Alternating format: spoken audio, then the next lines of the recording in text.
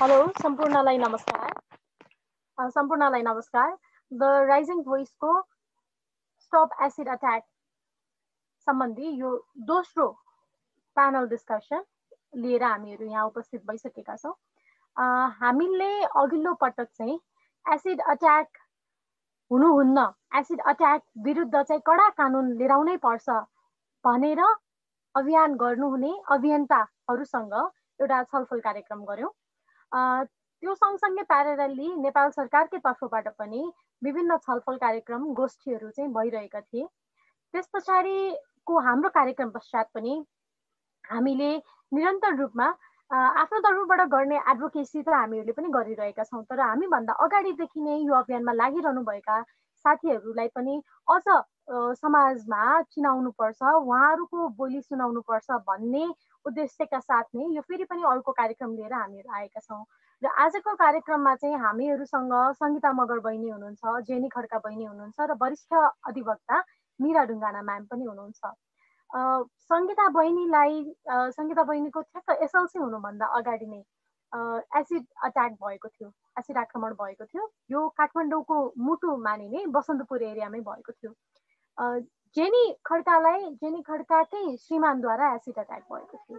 र मेरा ढुङ्गाना म्याम वरिष्ठ अधिवक्ता जो हुनुहुन्छ उहाँले सङ्गीता बहिनीकै केसलाई पनि फाइट गर्नुभएको मलाई याद छ। सङ्गीता बहिनीकै एसिड अट्याक सङ्गीता बहिनीलाई मुख्य एसिड अट्याक गरेको त्यस पछाडि चाहिँ सीमा बहिनीलाई पनि लागेको भन्ने कुरा चाहिँ हामीहरूलाई थाहा पनि छ। दुवैजना चाहिँ एसिड अट्याकको सर्भाइभर्स नै हुनुहुन्छ। त्यस पश्चात उहाँले भोग्नु परेका कुराहरू।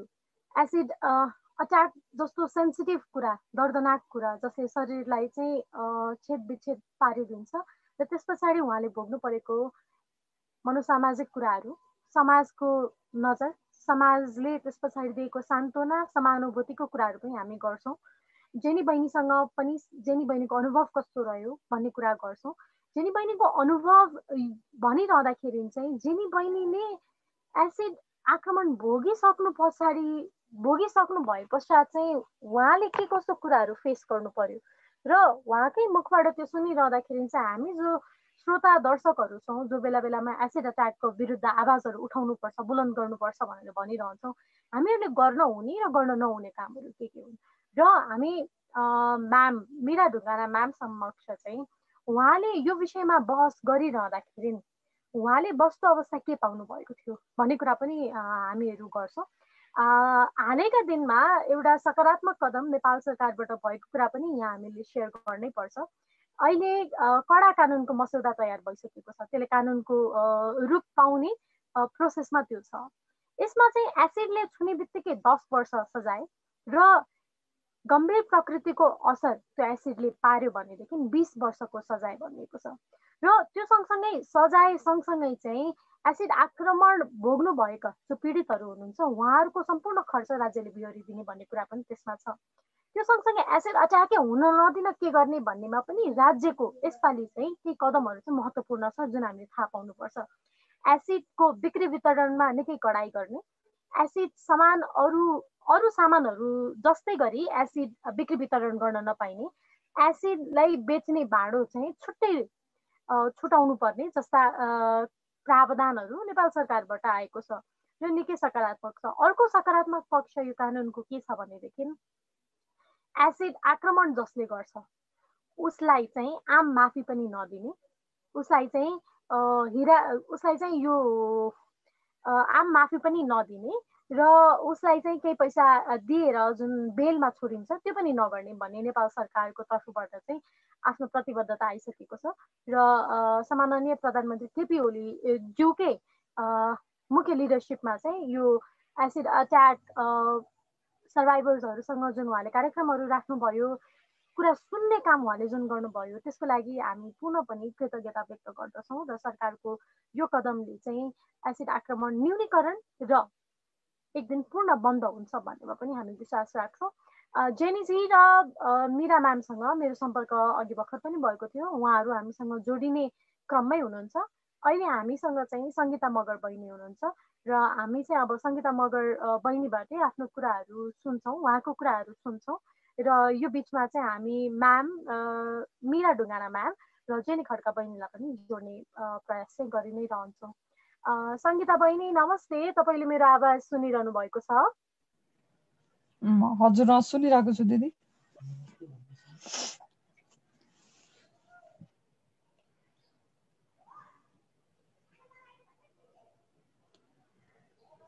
मैले सुनिरहेको छु हजुरको आवाज।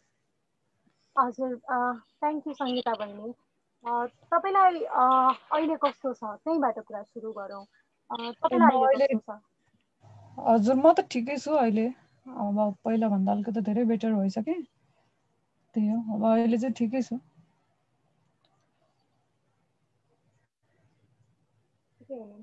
तपाईँले अहिले पनि यो तपाईँको यो मेडिटेसनहरू गरिरहनु परेको छ आफ्नो यो मुख्य गरी यो डक्टर्सहरूको लागि। अहिले पनि तपाईँले मेडिसिन्सहरू लाउने उपचार गरिरहनु परेको छ? मेडिसिनहरू चाहिँ लगाउनु चाहिँ पर्दैन। हालै भन्नाले अब ट्रिटमेन्टहरू चाहिँ चलिरहेको छ। किनभने अब त्यो सर्जरीहरू त फेसको सेपहरू अब पहिलाकै सेपमा ल्याएर आउने ट्राईहरू गरिरहनु पर्ने हुन्छ। किनभने अब त्यो पहिला त पहिलाको जस्तो नर्मल फेस हुँदैन नि त। एसिडले गर्दाखेरि फेसहरूको पुरा सेपहरू चेन्ज भएको हुन्छ। अनि जस कारणले गर्दाखेरि चाहिँ त्यही सेपमा लिएर आउन डक्टरहरूले चाहिँ ट्राई गर्छ कि अब योभन्दा जुन अहिलेको हालतमा छ योभन्दा कसरी राम्रो बनाउने भन्ने खालको डक्टरहरूको प्रयास हुन्छ र साथसाथै हाम्रो पनि त्यही नै हुन्छ।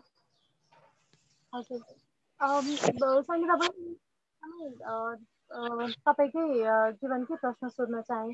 तपाईँलाई कुनै पनि बेलामा चाहिँ यो प्रश्न चाहिँ मलाई अलिक उत्तर दिन मन लागेन अथवा म सक्दिनँ। मलाई चाहिँ यसले ट्रिगर गर्छ जस्तो लाग्यो भनेदेखि चाहिँ तपाईँले म यो प्रश्नको उत्तर दिनु भन्न पनि सक्नुहुन्छ है। अहिलेसम्म चाहिँ यो एसिड आक्रमण पश्चात चाहिँ कतिवटा अपरेसन्सहरू भयो यहाँले केही बताउन सक्नुहुन्छ त्यस बारेमा धेरै भयो। अपरेसनहरू त अब गरिरहनु पर्ने नै हुन्छ किनभने अब त्यो पहिलाको सेप अहिलेको सेपभन्दा पहिलाको सेप अब पहिलाको सेपमा लिएर आउनको लागि डक्टरहरूले पनि अपरेसन गर्नुपर्छ भनेर भन्नुहुन्छ र साथसाथै हामी पनि अब यो फेसभन्दा त अब अझै राम्रो हुन चाहन्छौँ नि त सोसाइटीमा भन्नाले। सोसाइटीमा भन्दा पनि अब आफूलाई छ नि अब नर्मल हिँड्न पनि सजिलो होस् र साथसाथै अरूले हेर्दाखेरि पनि अब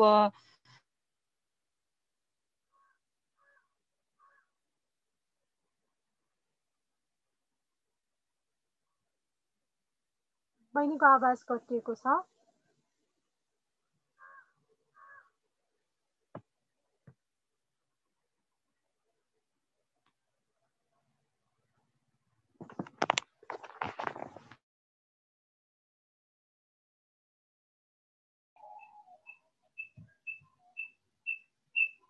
सङ्गीता बहिनी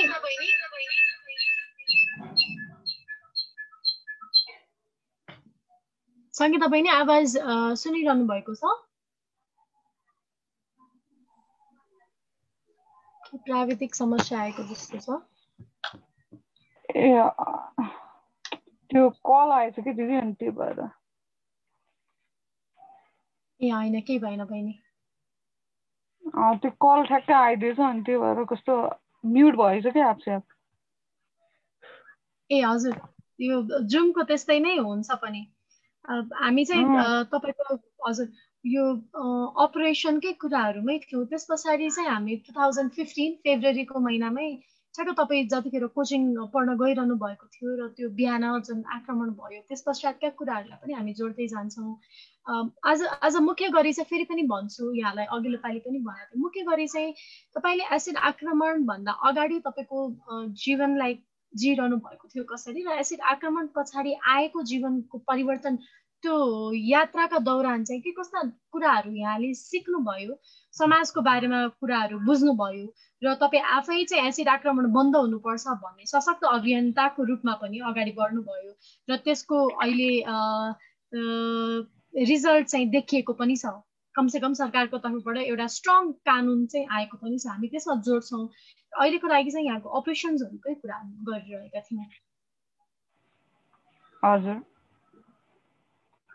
त्यो हो एसिड एट्याक हुनुभन्दा अगाडि। नर्मल लाइफ नै थियो। त्यो सामान्य अब सबैको लाइफ हुन्छ नि अब त्यही स्कुल जाने पढ्ने अनि हिँडुल गर्ने अब स्कुल पढिसकेपछि अब हुन्छ नि सकेपछि कता पढ्ने हामी सबैजना सँगै जानुपर्छ है भनेर साथीहरूसँग कुरा गर्ने त्यस्तो त्यस्तो खालको त्यो त्यही खालको सोचाइ नै हुन्छ नि त नर्मल हुन्छ नि नर्मल मान्छेको अथवा नर्मल कुनै पनि एउटा व्यक्तिको त्यस्तै खालको लाइफहरू थियो। र अब त्यो एसिड एट्याक अब त्यो सोच्दा सोच्दा पनि सोचेको थिइनँ कि अब म माथि नै कुनै दिन एसिड एट्याक पर्छ भनेर क्या कल्पना कल्पनाभन्दा धेरै टाढाको कुरा क्या र एसिड एट्याक भयो अब एक्सिडेन्टली भनौँ न।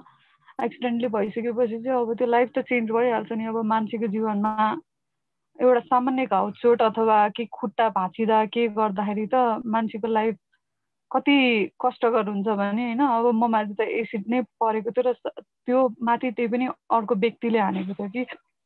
एसिड हान्दाखेरि त अब त्यो सोच नै कति धेरै डिफ्रेन्ट हुन्छ नि त मान्छेको। अब कस्तो कस्तो खालको सोच्ने हुन्छ नि।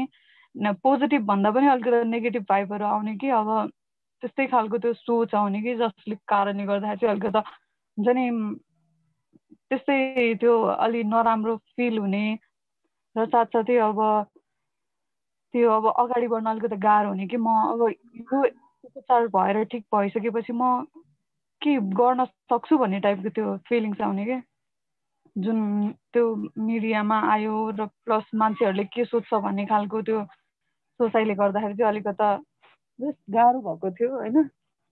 अहिले चाहिँ अब ठिकै छ। अहिले चाहिँ नर्मलै छ भनौँ न। अलिकति त्यो भन्न सक्दिनँ कि त्यो हुन्छ नि? अलिक भन्न अलिक कस्तो कस्तो लाग्छ कि मलाई त्यो लाइफको बारेमा र अहिले भन्दाखेरि चाहिँ अनि त्यही भएर मलाई अलिकति त्यो भित्रबाट अलिकति हुन्छ अनि म अलिकति सर्टकटमै भन्छु कि। इट्स इट्स ओके सङ्गीता बहिनी। तपाईँले यो बिचमा कति धेरै भोग्नु पर्यो भन्ने कुरा त हामीहरूले पनि सुन्छौँ सुनेर चाहिँ समानुभूति सहानुभूति दिन सक्छौँ होला। त ठ्याक्क तपाईँले भोग्नु भएको कुराहरू चाहिँ हामीले अझ भोग्न सक्दैनौँ जस्तो पनि मलाई लाग्छ। अर्को चाहिँ सकारात्मक पक्ष चाहिँ बहिनी अहिले सोसल वर्कको ब्याचलर्स लेभलको विद्यार्थी हुनुहुन्छ। म मेरो इन्फर्मेसन यदि गलत छैन भनेदेखि। हजुर म ब्याचलर फर्स्ट इयरको स्टुडेन्ट हजुर कस्तो खुसी लाग्यो। किनभने त्यो बेला एसएलसी नै पनि दिन नपाउने हो कि? जस्तो अवस्था आइरहेको थियो होइन। म सम्झिन्छु यहाँलाई अस्पतालमै कोचिङ्सहरू दिन सरहरू आउनुभएको थियो दाईहरू आउनुभएको थियो। त्यतिखेरको कति हो कति कुराहरू अहिले पनि मलाई पनि छरपष्टै छ किनभने एकदम नजिकबाट एसिड अट्याक भएको देखेको चाहिँ मैले पनि तपाईँकै एसिड अट्याक आक्रमण पश्चात नै थियो। र तपाईँले जसरी एकदम सकारात्मक रूपमा अहिले आफूलाई बिल्ड गर्नु भएको छ खासमा यो एनर्जी चाहिँ अहिले मलाई पनि फिल भयो। यो तपाईँले जसरी मान्छेको जीवनमा एक्सिडेन्टहरू हुन्छन् र त्यो भइसके पछाडि चाहिँ त्यसलाई एक्सेप्ट गरेर लानुपर्छ भन्ने जुन सकारात्मकता तपाईँबाट आयो। तर त्यो सँगसँगै बिचमा चाहिँ कति त्यो नेगेटिभ पोइन्ट अथवा आफूलाई एकदम नेगेटिभ लागेको लो पोइन्ट अब केही गर्न सकिँदैन कि गाह्रो छ कि भन्ने पोइन्टमा पनि तपाईँ पुगेर त्यहाँबाट उठ्नु भएको हो।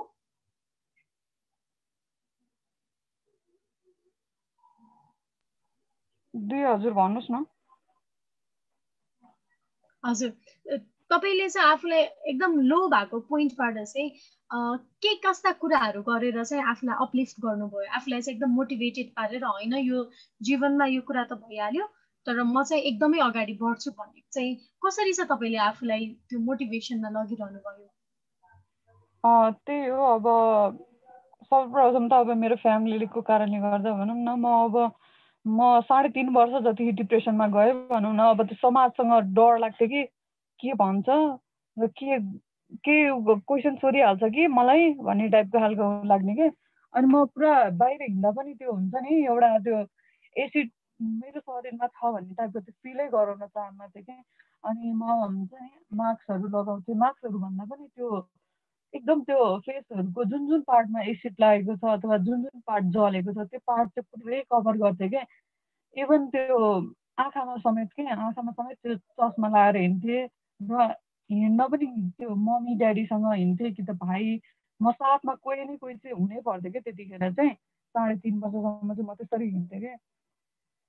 एकदम डर लाग्थ्यो अनि हिँड्न पनि कस्तो गाह्रो लाग्थ्यो होइन एक्लै हिँड्दाखेरि पनि मान्छेले के भन्छ कि के सोध्छ कि मलाई अथवा अरू कसैले केही गर्छ कि भन्ने टाइपको त्यो फिलिङ्सहरू आउँथ्यो कि। अनि तर अब साढे तिन वर्षपछि चाहिँ अब त्यही मोटिभेसन भनेको मेरो फ्यामिली हो। मेरो फ्यामिलीले चाहिँ मलाई पहिलादेखि नै साथ दिइराख्नु भएको थियो।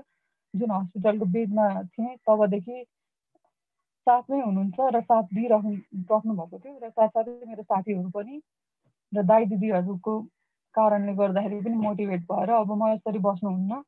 म यसरी बसेँ भने चाहिँ अब झन् आफूलाई पनि गाह्रो हुन्छ र साथसाथै अरूको लागि पनि केही गर्नुपर्छ भनेर त्यो जब बसन्ती दिदीको केस भएको थियो तब म म र सीमा भनौँ न फेस खोलेर म काठमाडौँबाट चितवन गएको थिएँ। त्यतिखेरदेखि अनि त्यो पछि म अब के गर्छु भनेर नै अनि त्यो फेसहरू पनि मैले कभर गर्न छडेँ र साथसाथै अब म एक्लै हिँड्छु भनेर अनि हिँड्न थालेँ कि। कस्तो खुसी लाग्यो सङ्गीता बहिनी र जुन डिप्रेसनको डिप्रेसनकै पोइन्टबाट तपाईँ गुज्रिनु पर्यो त्यो कति पीडादायक थियो होला भन्ने कुरा चाहिँ कोही अर्को व्यक्तिले भन्न सक्दैन स्वयं त्योबाट गुज्रेकोहरूले नै भन्न सक्छ।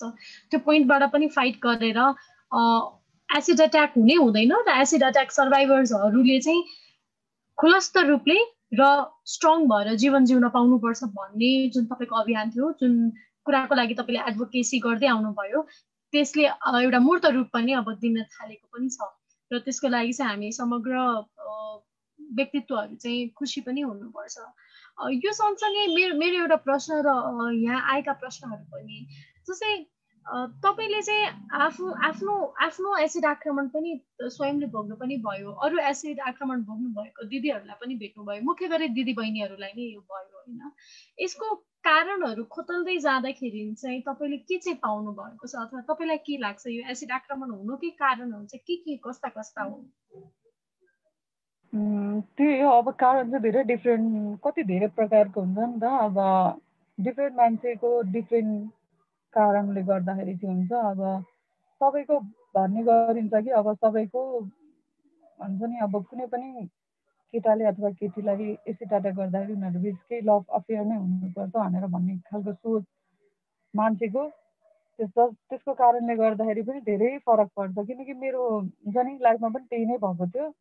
र अरूको अब डिफ्रेन्ट डिफ्रेन्ट होला होइन। मान्छेको अब कुनै घराइसी कारणले गर्दाखेरि पनि होला कुनै जग्गा विवादले गर्दाखेरि पनि हुन्छ। र मेन कारण भनेको चाहिँ त्यही नै हो कि डाड इच्छा हुन्छ नि अब आक्रोश त्यो मान्छेलाई चाहिँ जति सक्दो आफूले हुन्छ नि घायल बनाऊ भन्ने टाइपको खालको हुन्छ नि यसलाई चाहिँ घायल बनाऊ यो जिन्दगीमा अगाडि बढ्न सक्दैन भन्ने खालको चाहिँ त्यो त्यो त्यो हुन्छ नि अब त्यो अपराधीको सोचको कारणले गर्दाखेरि चाहिँ एसिड एट्याक हुने हुन्छ जस्तो लाग्छ कि मलाई चाहिँ अब मेरो पनि त्यही नै भयो जस्तो लाग्छ अब किनभने अब किनकि केही नै भएको छैन। सामान्य एउटा घर आइसी झगडाको कारणले गर्दाखेरि यतिसम्म भएको थियो होइन जसको कारणले गर्दाखेरि चाहिँ अब न्युजसम्म आउँदाखेरि चाहिँ अलिकति डिफ्रेन्ट वेमा हुन्छ नि त्यसलाई मोडिफाई गरेर अथवा मोडेर आयो कि अब कुनै पनि त्यो एसिड एट्याक भइसकेपछि केटा र केटी बिच केही नै हुनुपर्छ भन्ने खालको त्यो सोचले गर्दाखेरि चाहिँ अब धेरै फरक पर्छ क्या त्यो हुन्छ नि अब अब त्यो पीडितको भनौँ न पीडितको अथवा कुनै पनि त्यो एउटा व्यक्तिको उसमा चाहिँ धेरै डिफ्रेन्ट पर्छ क्या त्यस्तो खालको त्यो न्युजहरू आउँदाखेरि त्यस्तो खालको त्यो पत्र पत्रिकामा छापिँदाखेरि त्यही हो।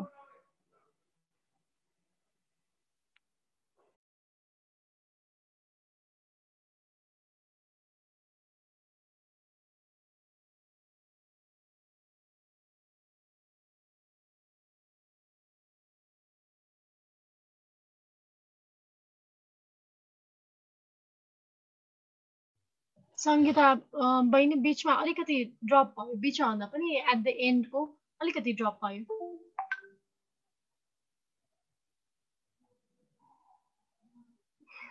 हस् अब हामीसँग चाहिँ यहाँ जेनी बहिनी जेनी बहिनी पनि आइसक्नु भएको छ। फेरि पनि भन्दाखेरि चाहिँ आज हामीले एकदमै ठुलो ठुलो कुरा गर्ने भन्दा पनि मुख्य गरी एसिड आक्रमण भोग्नु भएको तपाईँहरूले चाहिँ तपाईँहरूको जीवनमा एसिड आक्रमण पश्चात चाहिँ के कस्ता ग्राउन्ड रियालिटीहरू देख्नु पर्यो भोग्नु पर्यो जुन तपाईँलाई भोगिन्छ जस्तो लागेको थिएन। त्यो विषयमा। र आक्रमणको कारण खोतल्दै जाँदाखेरि चाहिँ के कस्ता कुराहरू भेटियो? तपाईँको महसुस तपाईँलाई महसुस चाहिँ के कस्तो कुराहरू भयो भन्नेमै हामीहरूले कुरा गरिरहेका छौँ। कानुन कस्तो बन्यो कानुन कानुनको यो कडाइपनले कति काम गर्छ के गर्छ भन्ने कुरा चाहिँ हामीले आज यसरी छलफल गरेर अथवा आज यति थोरै समयमा छलफल गरेर पुग्दैन पनि। त्यही भएर मुख्य गरी तपाईँहरूको जीवन यात्राकै आज हामी चाहिँ कुरा गर्छौँ। र अहिले चाहिँ हामीसँग जेनी बहिनी पनि आइसक्नु भएको छ। जेनी बहिनी तपाईँलाई यो प्रोग्रामको प्रोग्राममा वेलकम र सरी तपाईँले यो टेक्निकल डिफिकल्टीहरू फेस गर्नु पर्यो, त्यही भएर अलिकति अलिक अलिक समय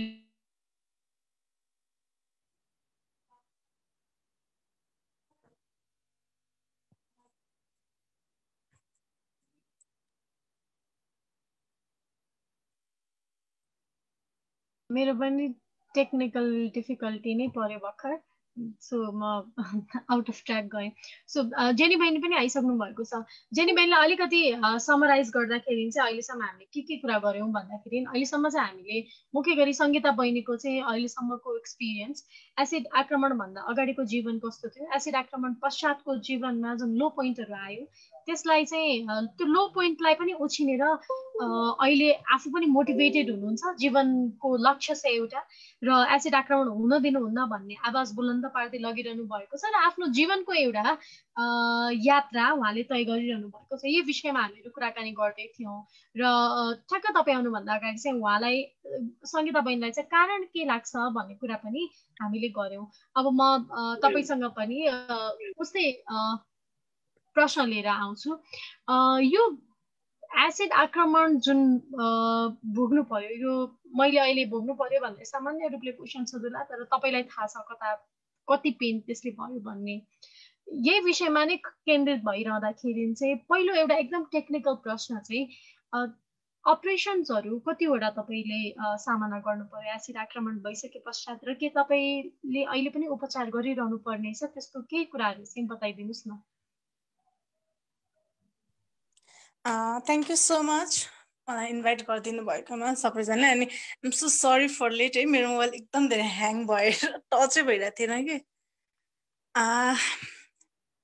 मेरो चाहिँ सर्जरीको कुरा गर्नु पर्दाखेरि त्यही हो आठ नौवटा सर्जरी भयो अनि अहिले पनि मेबी मेरो चाहिँ सर्जरी गर्नुपर्ने छ नै बिकज मेरो नेकले एकदम मलाई प्रेसर दिइरहेको छ। एन्ड यो भन्न सकिँदैन कि तपाईँको अब कतिवटा सर्जरी बाँकी छ भनेर बिकज बर्न केसमा चाहिँ जसको पनि त्यो छाला कन्ट्र्याक्ट हुँदै जाने भएको हुनाले कतिवटा सर्जरी होला भन्न त्यो भन्नै सकिँदैन। उसको स्किनमा भर पर्छ क्या स्किनले कतिको क्याप्चर गर्छ कतिको कन्ट्र्याक्ट हुन्छ हुँदैन भनेर अनि सो मेरो चाहिँ अब एउटा चाहिँ गर्छु त्यसपछि आइडन फेरि गर्नुपर्छ पर्दैन।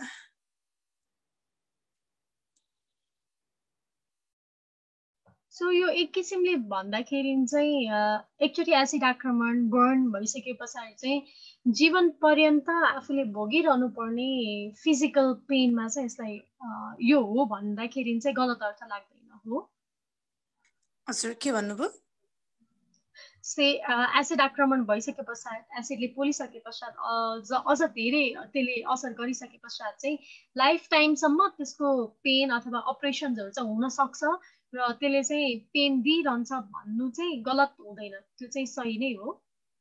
हजुर हजुर। यो पीडितहरूको लागि चाहिँ लाइफ टाइमको लागि नै फिजिकली प्लस मेन्टली पेन हुन्छ नै हुन्छ क्या। प्लस सोसाइटीमा पनि पेन हुन्छ जसले हाम्रो सोसाइटीलाई फेस गर्नुपर्ने भइदियो एभ्रिवेयर यसको चाहिँ पेनिङ रहन्छ नै रहन्छ। I don't think it's never end Jenny बहिनी जस्तै तपाईँलाई नि सोसाइटीले त अब सोसाइटी समाज भनेर त समाज बन्ने भनेकै एक एकजना व्यक्तिहरू मिलेरै समाज बन्ने हो। अनि उनीहरूले गर्ने कुराकानी उनीहरूले विश्वास गर्ने कुराहरू त्यसले नै सामाजिक मूल्य मान्यताहरू बन्दै जाने हो। जस्तै एसिड आक्रमण पश्चात नै मुख्य गरी समाजका व्यक्तिहरूबाट के कस्ता व्यवहारहरू तपाईँ तपाईँ लक्षित भए जुन चाहिँ तपाईँलाई हुनुहुन्थेन? यस्तो नगरिदिएको भए हुन्थ्यो नि जस्तो लागेको त्यस्तो केही छ?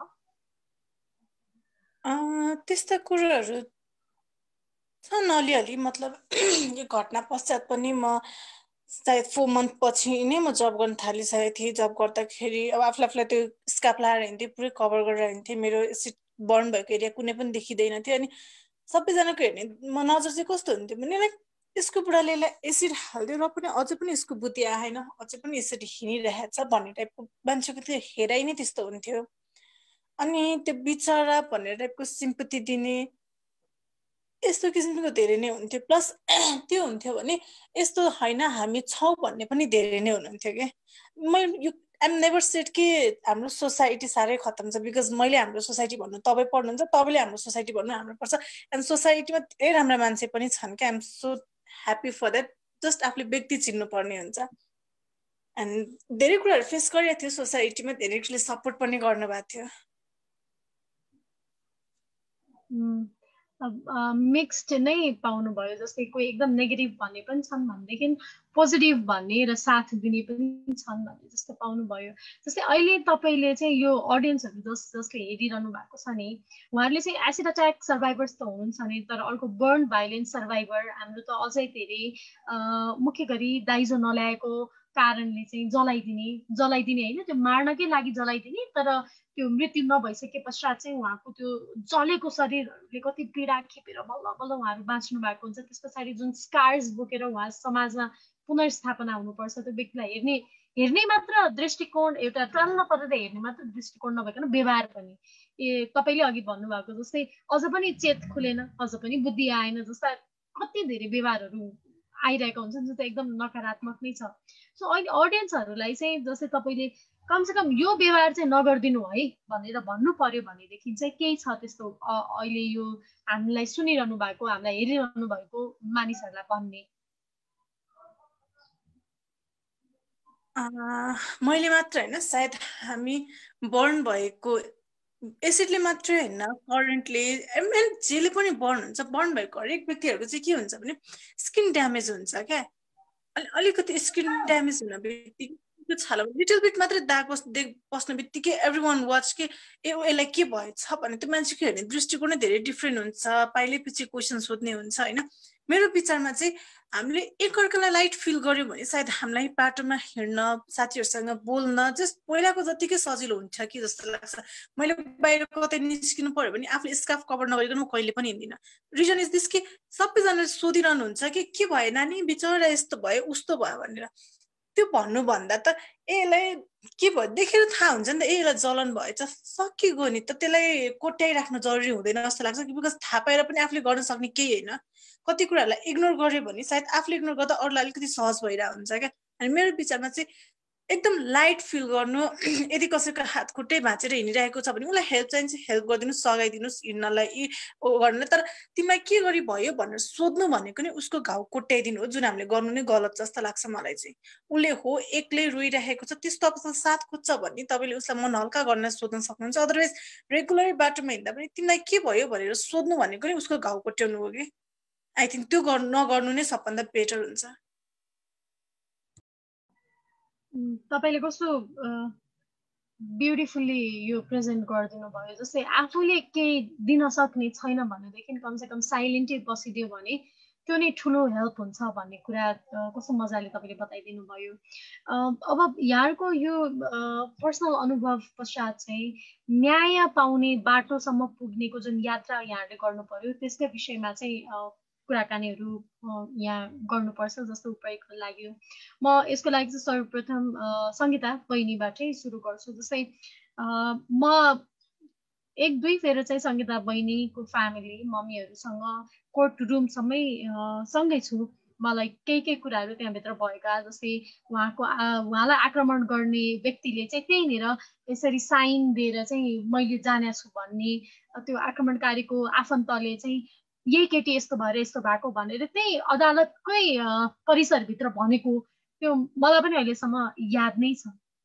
त्यो भनेको चाहिँ यो आक्रमणकारी निस्केर आइसके पछाडि अझै पनि मलाई सेफ छैन भन्ने एउटा साइकोलोजिकल प्रेसर क्रिएट गरिदिनु पनि थियो। त त्योभन्दा अगाडि चाहिँ सङ्गीता बहिनीकै अनुभवमा यहाँलाई कतिसम्म याद छ? यहाँले त्यो कानुनको बाटो तय गर्दाखेरि चाहिँ कस्तो फिल गर्नुभएको थियो? नेपालको कानुन कस्तो छ? यो अदालतको अदालत जाउने आउने कुरा मुद्दा चलाउने कुराहरूको विषयमा चाहिँ यहाँलाई त्यतिखेर चाहिँ के कस्तो अनुभव भएको थियो? र अहिले चाहिँ अलिकति बताइदिनु पर्ने यहाँलाई जसले आक्रमण गर्यो उसले चाहिँ कति वर्षको सजाय काटिरहेको छ भन्ने कुरा पनि बताइदिनुहोस् न।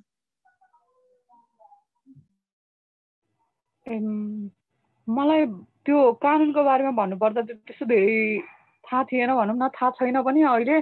किनभने त्यो केसहरू सबै ड्याडीले हेरिदिनु भएको थियो। त्यतिखेरदेखि ड्याडीले हेरिदिनु भएको भएर त्यो ड्याडीको मुखबाट हल्का हल्का सुनेकोहरू मात्रै याद छ नि त। अनि त्यही हो अब कानुन भन्नुपर्दा चाहिँ त्यसलाई दस वर्षको सजाय तोकिएको थियो होइन? र साथसाथै त्यो पनि अझ कति त्यो ट्राई गरिरहेको थियो कि त्यो छुट्नलाई। कतिवटा हुन्छ नि जिल्लाबाट फैसला भइसकेर पनि त्यो अझै छुट्नलाको लागि त्यसले के के मात्र गरेन कि अब जेलभित्रैबाट त्यो लेटरहरू पठाएर त्यो मिडिया समूह पठाएर म अब यस्तो गर्दैछु म अब कालो कोट लगाएर आउँछु र साथसाथै अब म अझ छुटेर अझ केही गर्छु तिमीहरूलाई भन्ने टाइपको त्यो धम्कीहरू अझ दिइरहेको थियो।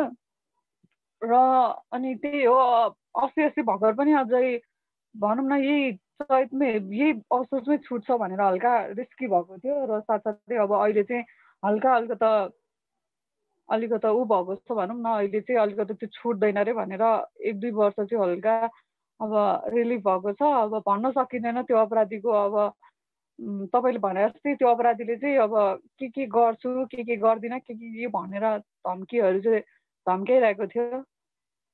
त्यही हो। हजुर अनि जहिले जुन अहिले रिसेन्टली नयाँ कानुन आउने भन्ने कुरा छ प्रोसेसमै छ होइन लगभग त्यो बन्छ भन्ने चाहिँ हामीले स्योर पनि पाइसक्यौँ। र तपाईँ पनि स्वयं आफै यो संसदको एउटा समितिमा चाहिँ एसिड आक्रमणको कानुन स्ट्रङ बनाउनुपर्छ भन्ने कुरामा सायद तपाईँ दुवैजना उपस्थित हुनुहुन्थ्यो जस्तो पनि मलाई लाग्छ। प्रधानमन्त्रीले डाक्नु भएको बेलामा पनि याद हुनुहुन्थ्यो।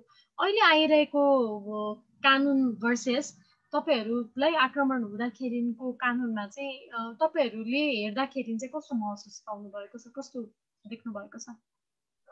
अब धेरै डिफ्रेन्स छ नि हामीलाई। अब एसिड एट्याक हुँदाखेरि अब धेरै कानुन नै थिएन जुन भनिन्छ नि केटीहरूको लागि। नेपालमा यति धेरै कानुन छ। नेपाल केटीहरूले गरिसकेपछि जे पनि हुन्छ भनेर भनिन्थ्यो नि त। केटीहरू चाहिँ सेफ फिल छ भनेर भनिन्थ्यो। तर त्यो पाना खोताल्दै जाँदाखेरि चाहिँ केटीहरूको लागि त के एउटा कुनै पनि व्यक्तिको लागि पनि एउटा सेफ छैन रहेछ कि? हुन्छ नि? कानुन नै छैन रहेछ। नेपालको कानुन चाहिँ एकदम त्यो कमजोर के?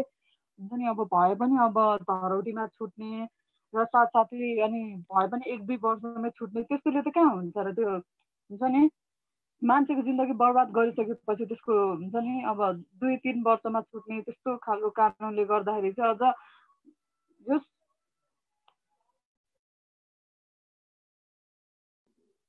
हजुर। हामीले सुनिरहेका छौँ सङ्गीता बहिनी।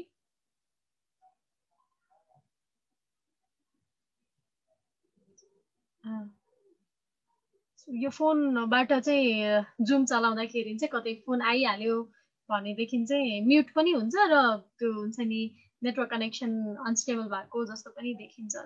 सङ्गीता बहिनीले भनेको कुरा समराइज गर्दाखेरि चाहिँ अहिलेको कानुन चाहिँ पहिलाको भन्दा पहिलाको यानि उहाँलाई नै जतिखेर आक्रमण भयो र आक्रमणकारीलाई चाहिँ आक्रमणकारी जीवनलाई चाहिँ सजाय दिनु पर्दाखेरि जुन प्रावधानहरू थिएन त्यो चाहिँ अहिले छ। अहिले चाहिँ राम्रो छ। र उहाँले अर्को एउटा कुरा पनि जोड्नु जुन निकै हजुर सङ्गीत अहिलेको कानुन चाहिँ जे राम्रो छ। पहिलाको भन्दा चाहिँ अब पहिला आठ वर्ष भनेर तोकिएको थियो भने अहिले चाहिँ अब जन्म कैदसम्मको कानुन छ। जसको कारणले गर्दाखेरि चाहिँ अब अपराधी पनि डराउँछ कि हाम्रो देशको कानुन यति छसम्म बलियो भइसक्यो भनेर चाहिँ अब हुन्छ नि अब कुनै पनि चेलीबेटी अथवा कुनै पनि पुरुष अब चाहिँ स्वतन्त्र आफ्नो जिन्दगी बिताउन सक्छ कि हाम्रो देशको कानुनले हामीलाई सुरक्षित दिन्छ अथवा हामीहरू हाम्रो स्वतन्त्रता छिन्दैन भनेर चाहिँ अब हिँड्न सक्छन्। भनौँ न अब जसरी पहिला हिँड्न सकिँदैन थियो। अब हिँड्दाखेरि पनि डर हुन्थ्यो नि त हाम्रो देशको कानुन छैन हामीलाई केही हुन्छ कि केही गर्ला कि भन्ने खालको त्यो सोचाइ चाहिँ अहिले अब धेरैसम्म हदसम्म अब धेरैसम्म अब अब रिलिफ भएको छ कि हाम्रो देशको कानुन यस्तो छ। हामी चाहिँ अब जसरी पनि अब हिँड्न सक्छौँ जे गर्न पनि सक्छौँ। त्यही हो अब चाहिँ जस अहिलेको कानुनले चाहिँ धेरै अब राम्रो छ भनौँ न धेरै हदसम्म। अहिले आएको कानुनले चाहिँ एक हिसाबले कन्फिडेन्स पनि प्रदान गरेको छ भन्ने कुरा पनि यहाँले अघि अघि सङ्गीता बहिनीले भनिरहँदाखेरि चाहिँ मैले जोड्दै थिएँ एउटा निकै महत्त्वपूर्ण कुरा पनि उठाउनु भयो। जस्तै नेपालमा चाहिँ महिलाहरूको लागि कति कानुन छ? महिलाहरूले कानुनको बाटो अप्नाएपछि चाहिँ उनीहरूकै उनीहरूकैतिर चाहिँ निर्णय आउँछ होइन? उनीहरूलाई चाहिँ मद्दत गर्छ भन्ने कुरा पनि क्वेसन गर्नुपर्ने प्रश्न गर्नुपर्ने छ भनेर चाहिँ सङ्गीता बहिनीले पनि भन्नुभयो। सायद सायद यो कुरा चाहिँ कता कतिसम्म सत्यतिर जान सक्छ भनेदेखि चाहिँ कानुन छ तर कानुन कार्यान्वयन गर्ने पक्षमा चाहिँ फेरि पनि महिलाहरूलाई नै कमजोर बनाएर त्यो निर्णयको पक्षसम्म जानु त पर पर कति महिलाहरू जो हिंसामा परिरहनु भएको छ उहाँलाई चाहिँ कानुनसम्म पुग्नको लागि पनि बाधा अडचन छ भन्ने कुरा चाहिँ मलाई अहिले पनि लाग्छ। कानुनसम्मको पहुँच चाहिँ कमजोर छ भन्ने कुरा। र कानुनकै पहुँचको विषयमा कुरा गर्दाखेरि पनि हामीसँग अहिले वरिष्ठ अधिवक्ता मिरा म्याम हामीसँग जोडी पनि सक्नु भएको छ सङ्गीता बहिनीकै केसमा पनि मिरा म्यामले नै फाइट गर्नुभएको बहस गर्नुभएको भन्ने पनि मलाई लाग्छ। मिरा म्यामसँग जानुभन्दा अगाडि चाहिँ जेनी बहिनीसँग जेनी बहिनीकै एसिड आक्रमण पश्चातको यो कानुनी प्रक्रिया अथवा न्यायको बाटो चाहिँ यहाँले कुन रूपमा पाउनुभयो यहाँले के महसुस गर्नुभयो त्यो कुरा जेनी बहिनीबाट सुनिसके पश्चात चाहिँ अनि हामी मिरा म्याम समक्ष जान्छौँ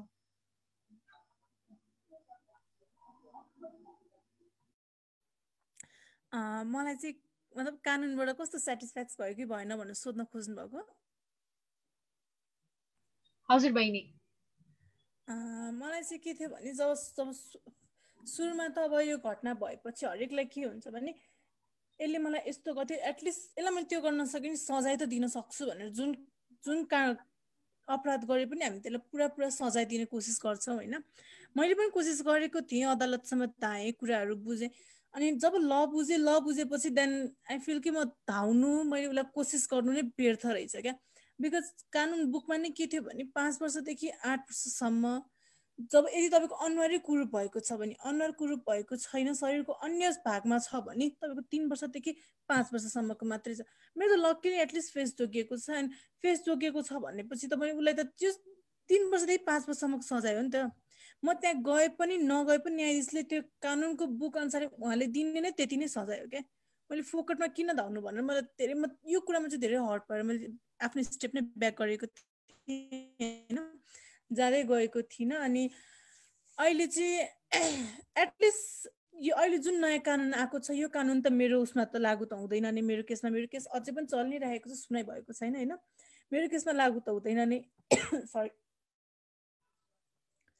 तर पनि अब अब यो कानुनले गर्दाखेरि न्यायाधीशले चाहिँ पाँचदेखि आठ वर्ष मात्रकोमा जस आठसम्मको आठ वर्षसम्मको सजाय दिने बारेमा चाहिँ सोच्नुहुन्छ कि भन्ने मलाई पुरा विश्वास छ। अनि त्यति भए पनि हुन्छ भनेर म चाहिँ अलिकति भए पनि त्यसमा चाहिँ कतै कतै अलिकति ढुक्क छु भनौँ न। बिकज सङ्गीताको मुस्कानको केसमा अन्य पर्सनले हालिदिएको थियो कि उनीहरूलाई? उनीहरूलाई थाहा छैन उनीहरू निस्केपछि उनीहरूले फेरि त्यो गर्छ गर्दैन के गर्छ कसो गर्छ। मलाई हालिदिने मेरो हस्बेन्ड हुनुहुन्थ्यो जोसँग मेरो थ्री इयर रिलेसन बसिसकेको थियो होइन? मलाई राम्रोसँग उसको हेबिट थाहा छ ऊ जेलबाट निस्केपछि आइएम नट सेफ यो उसले यो छैन कि उसले एसिड नै हाल्छ भन्ने चाहिँ छैन तर एसिड बाहेक अरू पनि धेरै कामहरू गर्न सक्छ उसले। एन्ड आइएम हन्ड्रेड पर्सेन्ट कि यदि ऊ जेलबाट छिटो निस्क्यो एन्ड मौका पायो भने उसले मलाई फेरि त्यही नै टर्चर गर्छ नि क्या। सो एटलिस्ट आठ वर्षमा भए पनि म सेभ हुन्छु भन्ने एउटा त्यो चाहिँ छ। एन्ड नयाँ कानुन आएकोमा चाहिँ धेरै खुसी लागेको छ। एटलिस्ट हामीलाई भएको हामीलाई हुनु घटना भएको नै कानुन नबलियो नभएर हो। एन्ड अरूमाथि चाहिँ अब यो घटना हुँदैन कि भन्ने आसमा चाहिँ धेरै खुसी लागेको छ भनौँ। Thank you thank you so much बहिनी यो सँगै अर्को एउटा थोरै जान्न मन लाग्यो जस जस्तै हजुरको केस चाहिँ अहिले पनि चलिरहेको छ जुन भन्नुभयो नि यसको अलि अलिकति ब्याकग्राउन्ड बताइदिनुहुन्छ जस्तै किन चाहिँ अहिलेसम्म नै चलिरहेको यो केस अथवा के कस्ता उपलब्धिहरू भएका छन् भन्ने कुरा? म खासै गएको त छुइनँ। अदालतमा यो बारेमा त्यति धेरै नलेज त छैन तर एक त यो लकडाउनले गर्दाखेरि कोरोनाको कारणले गर्दाखेरि पनि टाइम लागेको। प्लस अर्को चाहिँ के छ भने यो केस चाहिँ सरकारले ह्यान्डल गरिदिने भएको भएर प्राइभेट केसमा भएर सरकार केस लाग्ने भएको भएर सायद सरकार त्यति धेरै छिटो प्रोसेस नहुने रहेछ क्या।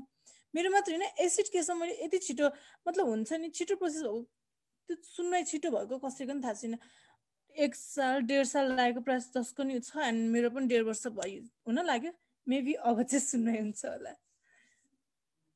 हामी पनि त्यही नै होप गरौँ अब चाहिँ मिरा मिरा म्यामलाई यो प्रोग्राममा वेलकम पनि गर्न चाहन्छु र मिरा म्यामलाई नै प्रश्न गर्न चाहन्छु। मिरा म्याम यहाँले मेरो आवाज सुनिरहनु भएको छ?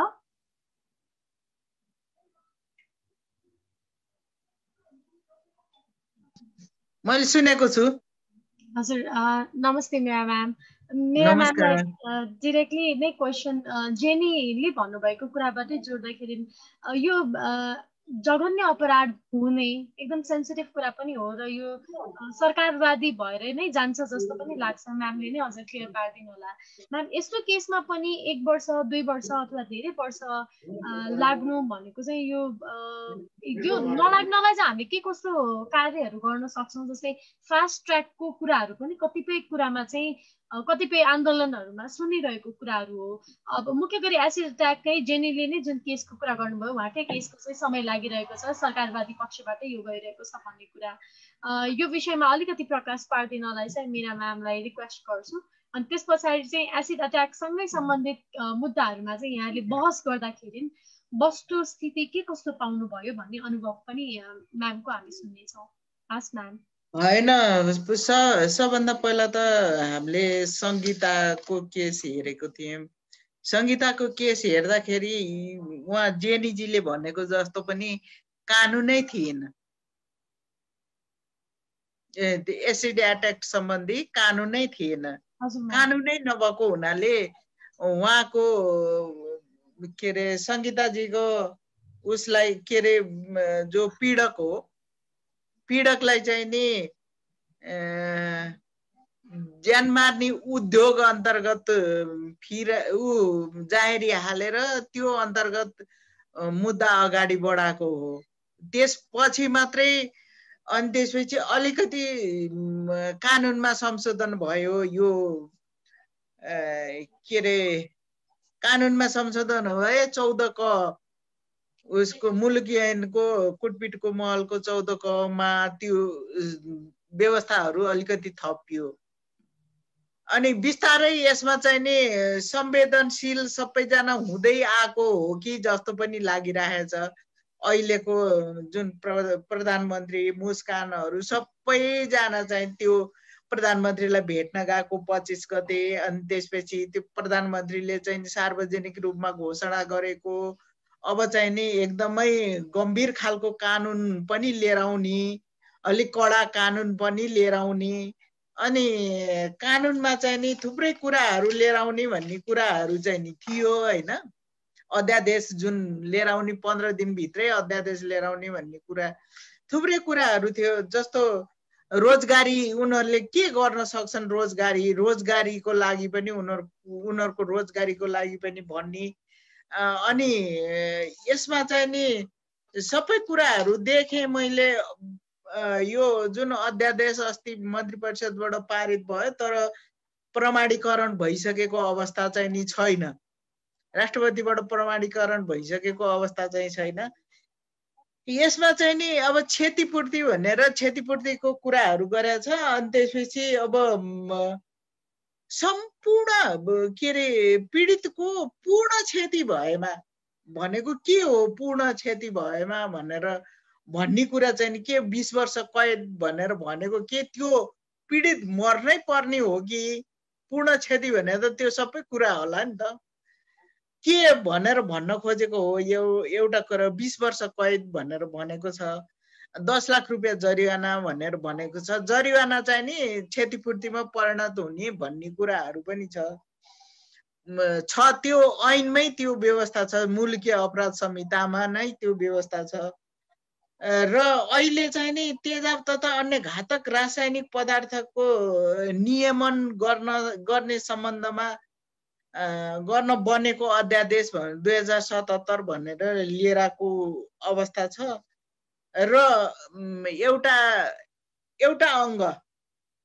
एउटा अङ्ग जस्तो कान कान कान आँखा अथवा कानको जाली अथवा काम नलाग्ने भयो एउटा अङ्ग काम नलाग्ने भयो भने उसलाई चाहिँ त्यो पीडकलाई चाहिँ नि दस वर्षदेखि बिस वर्षसम्म कैद भनेर यस्तो ग्याप्सहरू चाहिँ राख्नुहुन्न यहाँ चाहिँ नि खेल्ने बाटोहरू हुन्छ। जस्तो लाग्छ है मलाई यो कडा बनाएर कानुन लिएर आउनु एकदमै राम्रो होइन। तर ग्याप्सहरू नराखिकन लिएर आयो भने चाहिँ नि त्यसले चाहिँ नि ठ्याक्कै यति सजाय हुन्छ भनेर भन्ने कुराहरू हुन्छ। जस्तो सातदेखि दस लाखसम्म जरिवाना भनेर भन्दाखेरि त निम्नतम सात लाख गऱ्यो भने त दस लाखसम्म पुग्नै परेन। त्यस त्यसले चाहिँ नि त्यो जुन कानुनको मर्म हुन्छ कानुनले खोजेको कुरा हुन्छ त्यो कुरा चाहिँ नि पुरा भएको हुन्छ। भने यस्तो खालको कानुनहरू अनि क्षतिपूर्ति सम्बन्धी अनि अब तत्कालै उसलाई चाहिँ मतलब अब एसिड एट्याक भयो कसैलाई जोसुकैलाई पनि हुनसक्छ। यो त्यो एट्याकमा तपाईँ पनि पर्न सक्नुहुन्छ म पनि पर्न सक्छु अर्को पनि पर्न सक्छ जोसुकै पनि पर्न सक्छ। अब यो हेर्दाखेरि तथ्याङ्कहरू हेर्दाखेरि एट्टी वान पर्सेन्ट चाहिँ नि महिलाहरू नै परिराखेको अवस्थाहरू छन्। पुरुषहरूलाई पनि एट्याक भएको रहेछ।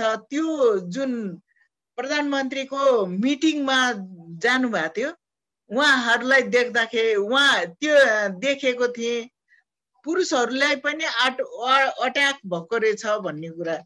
अनि यो सबै सजायको व्यवस्था मात्रै गरिदिएको अवस्था छ। अनि त्यसै व्यवस्थापन के गर्ने त? म त एसिड बिक्री नै गर्न नपाउने गरी एकदम कडा किसिमको त्यो त्यो व्यवस्था चाहिँ नि के लिएर आउने? एसिड पायो भने त अब छलेर हान्ला केही गरेर हान्ला नचिन्ने मान्छे भएर हान्ला। जेसुकै भएर पनि हान्ला नि। अब यसलाई चाहिँ नि नियमन कसरी गर्ने भन्ने कुराहरू चाहिँ नि रहेनछ अनि अर्को कुरा चाहिँ नि के देखेँ मैले त्यो ऐन अहिले आएको ऐनको कुरा गर्दाखेरि अहिले अध्यादेश जुन आउन लागेको आइसकेको अवस्था होइन यो लागु भइसकेको अवस्था होइन। तर यसले चाहिँ नि जस्तो अब जलाको एसिडको कुरा मात्रै गरेको छ। जलाको कुराहरू आगो लगाएको कुराहरू मैले केसै हेरेको थिएँ अम्बिका धमला भन्ने एकजनाको। उहाँलाई चाहिँ नि जलाएको तिन दिनको दिन उहाँ उहाँको डेथै भयो। त्यो मुद्दा मैले जाहेरवालाको तर्फबाट हेरेको थिएँ। भने अब त्यस्ता केसहरू पनि छन्। धेरै त त्यो गाउँ गाउँतिर जलाउने कामहरू गरेका छन् महिलालाई। यसलाई चाहिँ नि केले सम्बोधन गर्ने भन्ने कुरा पनि आएको भए अति राम्रो हुन्थ्यो। आउनु नै सबभन्दा राम्रो कुरा हो। यो अब कडा गरेर लिएर आउनु नै सबभन्दा राम्रो कुरा हो। अनि त्यसपछि जेनीजीको जुन कुरा छ जेनी जेनीजीको आफ्नै हस्बेन्डले गरेको भन्दाखेरि यो के सरकारवादी मुद्दा बनाएको अवस्था हो? हजुर के भयो भने जब तपाईँ मतलब हाम्रो प्राइभेट वकिल राख्ने कुरा भएन। आई मिन कुरा भएन भने त्यो अब प्राइभेट वकिल हायर गर्ने पैसा भएन।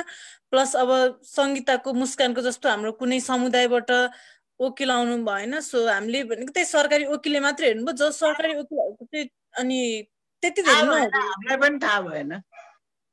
नभए हामी त फ्रीमा यस्तो केसहरू हेर्छौँ होइन?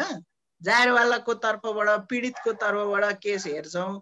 यदि तपाईँलाई त्यस्तो विश्वास लाग्छ यही छ हाम्रो महिला कानुन र विकास मञ्च तपाईँले सबिनजीलाई पनि भेट्नुभयो होला। हाम्रो महिला कानुन र विकास मञ्चले पनि त्यो ज्ञापन पत्र दिएको थियो। तपाईँ पीडितको तर्फबाट तपाईँ हुनुहुन्थ्यो अनि अरू अरूहरू संस्थाको तर्फबाट थियो। हाम्रो सबिनजी जानुभएको थियो सबिन श्रेष्ठ। हो यही छ महिला कानुन र विकास मञ्च यदि तपाईँ चाहनुहुन्छ भने चाहनुहुन्छ भने हामीले पनि हेरिदिन्छौँ त्यो केस। अहिलेको अवस्था भनेको केसको अहिलेको अवस्था भनेको के भएको भन्दाखेरि अहिले थुप्रै केसहरू सबै केसहरू नहेरिराखेको अवस्थाहरू छ नि त।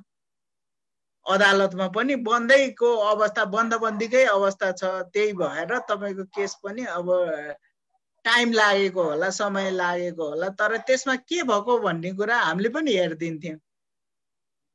मलाई चाहिँ के अरे ठिकै हो मतलब यो लकडाउनले गर्दाखेरि ढिला भएको भन्ने कुरा चाहिँ माने त्यो त्यो त मलाई हामी सबैलाई थाहा नै छ होइन? तर अर्को चाहिँ के लाग्छ भने एसिड केसमा प्रायः जस्तो कसैको पनि छिटो अदालतमा फैसला भएको थाहै छैन क्या वर्ष डेढ वर्ष लागेको नै हुन्छ। अनि मलाई चाहिँ यसमा सरप्राइज चाहिँ के लाग्छ भने पीडित अगाडि हुन्छ पीडक अगाडि हुन्छ सबै कुरा घटनासम्म चाहिँ अगाडि सबै हुन्छ कि? र पनि यसमा टाइम लगाउनुको कारण चाहिँ के होला? कानुनमा पनि अब उनीहरूले यदि पीडित पीडकको वकिल राम्रो छ यताउति गरिदियो भने पीडककै कुरा सुनेर अलिकति कम सजाय दिने यो किसिमको कुराहरू प्रयास धेरै पाइरहेको छु क्या। त्यसैले हामीले पनि बल पुगोस् सरकारी वकिललाई पनि बल पुगोस् भनेर। हामीले पनि हेरिदिन्थ्यौँ कि? सँगसँगै हामी पनि जान्थ्यौँ। हामी पनि जाँदाखेरि चाहिँ नि अब त्यस्तो धेरै सजाय कम गर्ने अथवा त्यो कम गर्ने भन्ने कुराहरू हुँदैन। अहिलेको नयाँ आएको जुन नयाँ आउन लागेको अध्यादेश छ यो अध्यादेशले पनि सपोर्ट गर्ला तपाईँलाई पनि भन्ने लाग्छ मलाई। यहाँ यसले पनि सपोर्ट गर्ला साथ तपाईँहरूले सपोर्ट गर्नुहुन्छ आई जस्ट आठ वर्ष पनि सपोर्ट गर्छौँ तपाईँलाई। भन्ने त्यो चाहिँ आश गर्न सक्छु। खाएर मात्रै हो सबै अब आइपुग्नु हुन्न होइन? उहाँ सङ्गीताजीलाई पनि थाहा छ हाम्रो अफिस कहाँ छ भनेर सङ्गीताजीको केसहरू पनि हामीले अफिसबाट पनि हेरेको हो। यो के अरे रिट हाल्दाखेरि रिट हाल्दाखेरि रिट पनि हालेको थियौँ हामीले सर्वोच्च अदालतमा रिट हाल्दाखेरि सङ्गीताजीलाई अगाडि राखेर रिट हालेको छौँ हामीले। उहाँ चाहिँ नि हाम्रो अफिसमा पनि जानुभएको थियो उहाँलाई थाहा छ। तपाईँ उहाँसँग पनि सम्पर्क गर्न सक्नुहुन्छ। अब दर्शनाजी रन्जुजीलाई पनि थाहा छ नम्बर सम्बर सबै थाहा छ। ओके स्योर देन म हजुरसँग स्योर कन्ट्याक्ट गर्नेछु thank you so much thank you जेनीजी and thank you Mira ma'am अहिलेकै यो कन्भर्सेसनबाट पनि एउटा यो कानुनसम्मको पहुँच अथवा हाम्रो लागि लडिदिने कुनै संस्था छ कोही व्यक्तिहरू हुनुहुन्छ भन्ने कुराको पनि हामीले चेतना चाहिँ अझ ठाउँ ठाउँमा पुऱ्यायौँ भनेदेखि चाहिँ धेरैजनाले चाहिँ न्याय पाउनुहुन्थ्यो भन्ने कुरा चाहिँ अहिले पनि आभास चाहिँ भइ नै रहेको छ। हजुर सङ्गीताजीको त केसै हेरेको हो हामीले होइन? हो म्याम मैले हजुरलाई कोर्टमै पनि भेटेको छु सङ्गीता बहिनीको केसकै दौरान। हजुर हजुर हो। हजुर। म्याम जस्तै एउटा टेक्निकल चाहिँ महिला कानुन र विकास मञ्चकै जानकारी चाहिँ अहिले यहाँ हामी त अब यस पछाडि एफडब्लुएलडीको जानकारी केही भनेर राख्छौँ पनि होइन। अहिले चाहिँ हाम्रो कतिवटा जिल्लामा छ अथवा यो भिडियो कसैले हेरिरहनु भएको छ भनेदेखि मुख्य गरी महिलाहरूको चाहिँ कस्ता कस्ता कस्तो कस्तो महिलाहरूको कस्तो कस्तो केसेसहरू चाहिँ महिला कानुन र विकास मञ्चले हेरिरहेको छ भन्ने कुरा पनि बताइदिनु भयो भनेदेखि अहिले कसैलाई इमिडिएट सहयोग चाहिरहेको छ भनेदेखि पनि उहाँहरूले रिच आउट गर्न सक्नुहुन्थ्यो।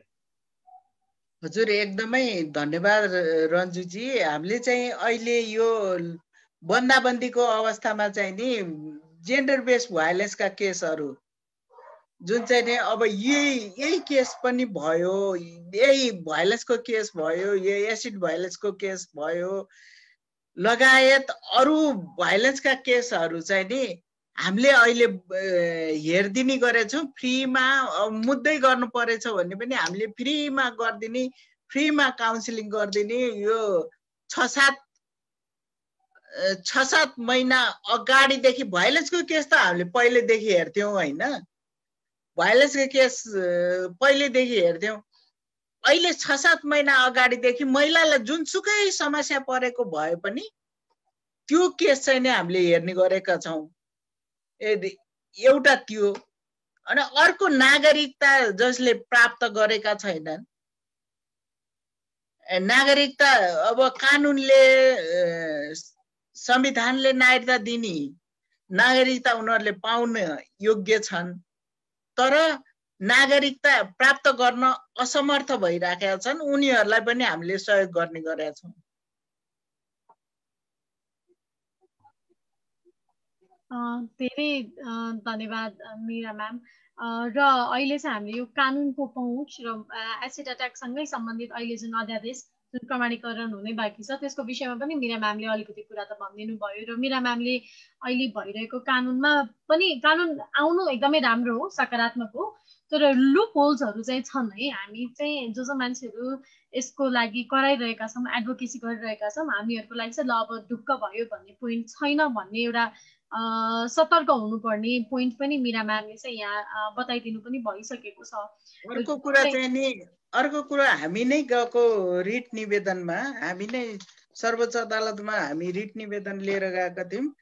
सङ्गीताजी हुनुहुन्थ्यो त्यो रिट निवेदनमा। त्यो रिट निवेदनमा चाहिँ के भन्छ भन्दाखेरि बर्न युनिट सबै प्राइभेट होस् वा जुनसुकै भए पनि बर्न युनिट चाहिँ नि तुरुन्त गठन गरेर उयो गठन गरेर अनि निशुल्क उपचार गर्ने यो जलाइएको अथवा एसिड आक्रमणबाट जुन भाइलेन्स भइराखेको हिंसा भइराखेको छ त्यो हिंसा पीडितहरूको उपचार चाहिँ नि निशुल्क उपचार गर्ने सबै हस्पिटलहरूले भन्ने कुरा चाहिँ नि यहाँ हाम्रो हामीले जुन हालेको रिट निवेदन छ त्यो रिट निवेदनको आदेश चाहिँ त्यस्तो आदेश पनि भएको थियो।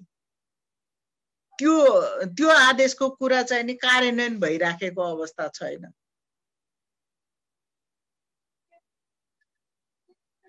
म्याम यो कार्यान्वयन गराउने प्रमुख निकाय चाहिँ को हो अहिलेको लागि? यो त नेपाल सरकारलाई आदेश गर्छ होइन? नेपाल सरकारलाई आदेश गर्छ यो चाहिँ नि अनि ऊ मार्फत जाने हुन्छ महाधिवक्ताको कार्यालय मार्फत चाहिँ नि त्यो जान्छ नेपाल सरकारलाई। अनि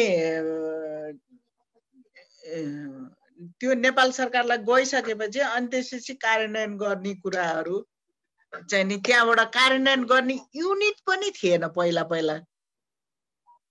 पहिला त्यो त्रिसठी सालभन्दा अगाडि।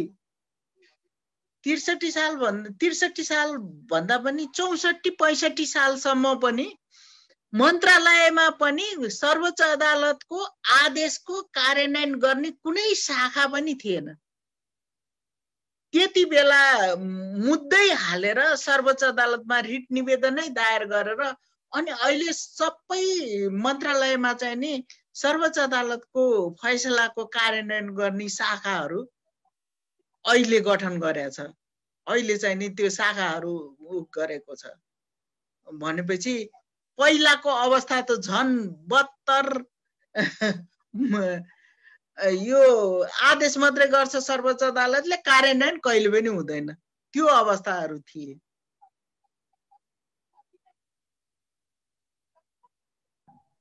हजुर म्याम।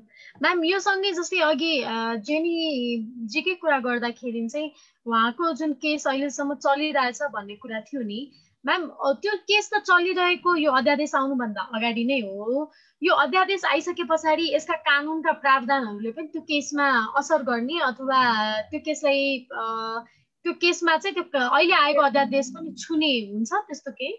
छुने छुने भए पनि नभए पनि अधिकतमसम्म जुन सजायको पहिलाको व्यवस्था थियो यो त सबै गभर्मेन्ट नै सरकार नै संवेदनशील भएर यस्तो खालको कानुन नै ल्याइसकेका छ भनेर भनिसकेपछि त्यो अधिकतम सजाय गर्न सक्ने सक सक्छ होला त्यसमा चाहिँ नि हामी पनि सहयोग गर्छौँ भन्ने कुरा मैले गरेको।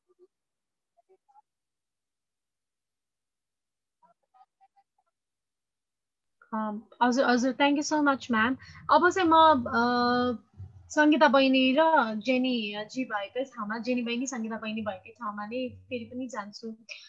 यो चाहिँ यो चाहिँ एकदमै त्यो पर्सनल अथवा तपाईँहरूलाई चाहिँ त्यो सम्झिँदाखेरि पनि गाह्रो लाग्ने खालको प्रश्न हुनसक्छ। र तपाईँहरूलाई चाहिँ होइन म यसको जवाफ दिन रुचाउँदिनँ म चाहन्न भन्ने लाग्छ भनेदेखि यहाँहरूले सिम्पली त्यही भन्न पनि सक्नुहुन्छ।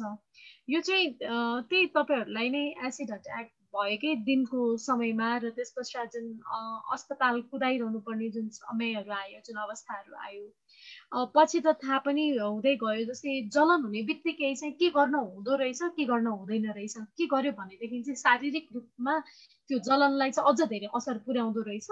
के गर्यो भनेदेखि चाहिँ त्यसलाई थामथुम हुँदो रहेछ भन्ने त्यस्ता केही कुराहरू चाहिँ अझ बताइदिनुहोस् न। यो मैले सोधेको कारण चाहिँ जस्तै म अहिले बोल्ने मान्छे यहाँ सुन्ने धेरैजना मान्छेले चाहिँ यहाँहरूको यहाँहरूलाई कस्तो भएको थियो भनेरै सुन्न चाहनु भएको त्यो कुरा एक भइहाल्यो। अर्को कुरा चाहिँ यहाँहरूले भन्ने कुराहरू धेरै हदसम्म हामीले समानुभूति चाहिँ प्रकट गर्न सक्छौँ होला। सहानुभूति नै प्रकट गर्न सक्छौँ होला। तर एक्ज्याक्टली त्यस्तै भएको महसुस त हामीले गर्न सक्दैनौँ।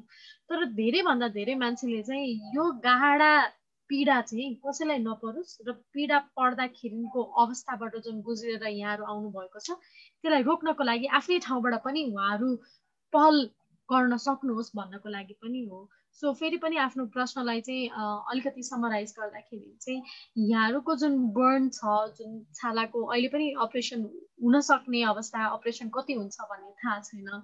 यो भइरहँदाखेरि चाहिँ टेक्निकल्ली गर्न नहुने अथवा गर्न हुने कुराहरू चाहिँ के के रहेछन्? म सङ्गीता बहिनीबाटै उत्तरको अपेक्षा गर्छु।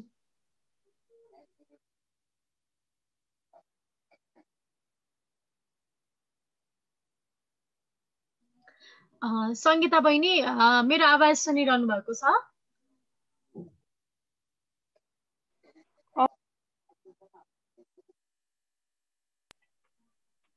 सुनिरहेको छु दिदी अघि सुनेको थिएन के भन्नुभयो? हजुर बहिनी। हजुरले के भन्नुभयो सो यो चाहिँ टेक्निकली चाहिँ जस्तै एसिड अट्याक नै भइसके पश्चात तपाईँलाई अस्पताल कुदाउनु पर्ने बेलामा त्यो त्यो समय त त्यो बखत त धेरै नसम्झिनु पनि त्यो सम्झिँदाखेरि पनि पीडा दिन्छ होइन? र यो प्रश्न मैले सोधिरहँदाखेरि चाहिँ यहाँलाई चाहिँ होइन म उत्तर दिन्न मलाई गाह्रो हुन्छ जस्तो लाग्छ भने अघि नैको जस्तो यहाँले म सक्दिनँ होला पनि भन्न सक्नुहुन्छ। त्यो बेलाको जस्तै मेडिकल कुराहरू त कतिलाई थाहा हुँदैन नि त। पोल्ने बित्तिकै के चाहिँ गर्न हुने रहेछ के चाहिँ गर्न हुँदैन रहेछ भन्ने कुरा थाहा हुँदैन। त्यस पश्चात तपाईँ तपाईँको हस्पिटलकै टाइमिङहरू पनि बढिसके पश्चात पनि तपाईँले नर्मल्ली पहिला गर्न हुने कुराहरू चाहिँ गर्न स्टप गर्नु पर्यो होला कति नयाँ कुराहरू चाहिँ गर्नु पर्यो होला। सो त्यही विषयमा चाहिँ अलिकति अवेरनेसकै लागि भयो भने बताइदिनुहोस् न।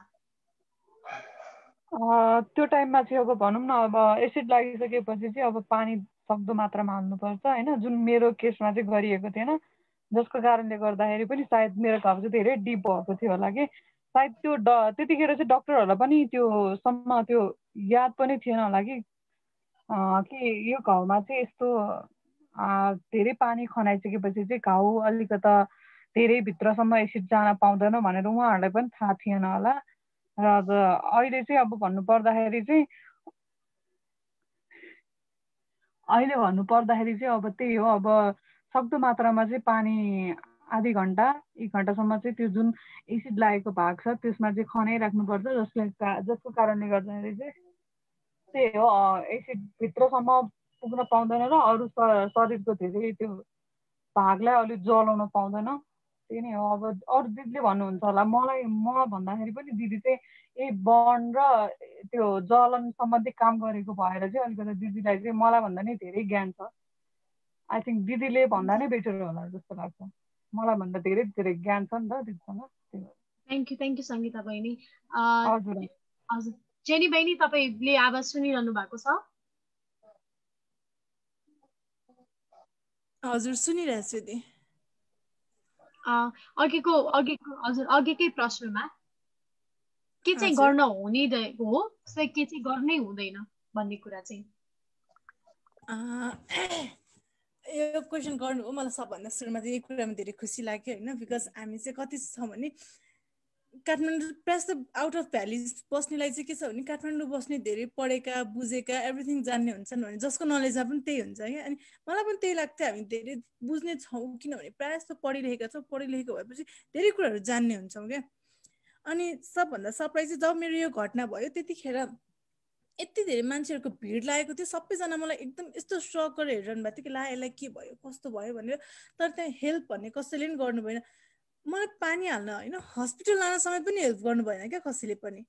अनि पछि एकजना दिदीले स्कुटीमा म के भएन नि भन्नु उहाँलाई मैले यस्तो यस्तो भयो दिदी मलाई एसिड हालिदियो बचाउ भनेपछि त्यो दिदीले ट्याक्सी रोकेर मलाई ओम हस्पिटल पुऱ्याउनु भयो। त्यतिखेर पनि त्यत्रो भिडमा सायद एकजनालाई पनि अलिकति नलेज भएको भए बर्न भएपछि जलन भएपछि के गर्नुपर्छ भन्ने नलेज सायद मेरो सङ्गीताको अलिक कम हुन्थ्यो के?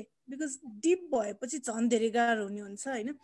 अनि यसमा चाहिँ हामीले जलन हुन मैले चाहिँ प्लस सगुन संस्थामा काम पनि गर्छु एन्ड सगुन संस्थामा काम गर्दाखेरि चाहिँ यही वन सम्बन्धी काम गरिरहेको थिएँ जुन चाहिँ हुन नदिन के गर्ने भएपछि के गर्ने र भइहाल्यो भने कसरी रोक्ने कसरी रोकथाम गर्न सकिन्छ यसलाई भन्ने हिसाबले चाहिँ ट्रेनिङ दिइरहेको थिएँ मैले चाहिँ यता मकवानपुर जनकपुरमा। अनि एक विषय भन्नुपर्दाखेरि चाहिँ यदि जलन भइहाल्यो भने थोरैमा पनि कम्तीमा पनि आधी घन्टा ननस्टप पानी हालिराख्नु पर्ने हुन्छ होइन? कति जलनको मात्रा हेरेर कति पोलेको छ तपाईँलाई कतिको जलन भएको छ थोरै भएको छ भने थोरै पानी राख्ने यदि टनै हातभरि पुरै भएको छ भने हातभरि पुरै पानी ननस्टप कम्ती पनि आधी घन्टा हाल्नुपर्ने हुन्छ। त्यो पनि फेरि पानी हाल्ने भनेपछि हत्तपत्त गएर बाल्टिनमा हात डुबाउने होइन पानी खनाइराख्ने गर्नुपर्ने हुन्छ। अनि यदि तपाईँले त्यो जलन भएपछि आफूलाई एकदम बडी पोलिरहेको हुन्छ जस्तै हातको नसानिर अब पोलेको छ भने त्यहाँनिर त्यो हत्तपत्त तातो यति धेरै हिट हुन्छ कि हत्तपत्त फ्रिजबाट आइस निकाल्यो भने त्यहाँ चस्सो राखिने कतिको हेबिट हुन्छ कि? तातोमा चिसो भएपछि आनन्द हुन्छ त्यो सबभन्दा रङ पार्ट हो किनभने बडी तातोले गर्दा अलरेडी तपाईँको ब्लड हिट भइरहेको हुन्छ। त्यो नसाको रगतहरू तातिरहन्छ नि। एक्कासी फ्रिजको पानीले त्यहाँनिर त्यो आइस राख्दाखेरि त्यो चिसो र तातो भएर रगत जम्ने हुन्छ क्या। जसले गर्दा ब्लड जमेको भएर नि हातहरू चलाउनु नसा नचलिदिने हातहरू कुजो परिदिने त्यस्तो धेरै हुन्छ होइन? नर्मल पानी तपाईँको घर बाल्टिनबाट आउने पानी बाल्टिनमा भएको पानी ट्याङ्कीबाट आउने पानीहरू युज गरेर हामीले त्यो गर्न सक्छौँ। अनि भइहालिसकेपछि चाहिँ त्यति गरेपछि यदि घरमै गर्न सकिने छ फोकाहरू उठेन भने घरमा गर्ने अदरवाइज चाहिँ मेडिकल गएर त्यसको लागि उपचार गर्न सकिन्छ। अनि स्पेसली चाहिँ जलन एसिडबाट आगोबाट मात्रै होइन करेन्टबाट पनि हुन्छ। करेन्टको डेन् करेन्टको बर्न चाहिँ झन् सबभन्दा डेन्जर हुन्छ। मैले मलाई थाहा भयो अनुसारले चाहिँ। करेन्टबाट बर्न भएको मान्छेहरूको अहिलेसम्म कसैको पनि एउटा शरीरको अङ्ग नकाटेको भनेको प्रायः जस्तो कसैको पनि छैन। हन्ड्रेडमा नाइन्टी पर्सेन्ट व्यक्तिहरूको प्रायः जस्तो अङ्ग कुनै न कुनै काटेको जसको हात खुट्टा केही नभने औँला मात्रै भए पनि काटेकै हुन्छ क्या त्यस्तो हुन्छ। त्यही भएर करेन्टदेखि चाहिँ एकदम केयरफुल रहनु पर्ने हुन्छ। एन्ड स्पेसली महिलाहरूलाई धेरै जलन भएको भएर आफूले किचनमा जाँदाखेरि मोस्टली एप्रोन युज गर्ने नाइलनको लुगाहरू नलगाउने ग्यास खुले नराख्ने बच्चाहरूलाई स्पेसली किचनमा एक्लै कहिले पनि नचढ्ने यस यस्ता कुराहरू गऱ्यो भने चाहिँ जलन धेरै कम हुन्छ र जलन एसिडको हाम्रो केसमा चाहिँ अरू ल्याएर हालिदिएको भयो। तर जलन भनेको हाम्रो सानो लापरवाहीले गर्दा हुने कि? चाहे त्यो तपाईँलाई करेन्टले होस् पानीले होस् तेलले होस् जसले पनि सानो लापरवाहीले गर्दा लाइफ टाइम ड्यामेज हुने हो कि त्यो? त्यही भएर एकदम केयरफुल हुनुपर्छ यसमा चाहिँ।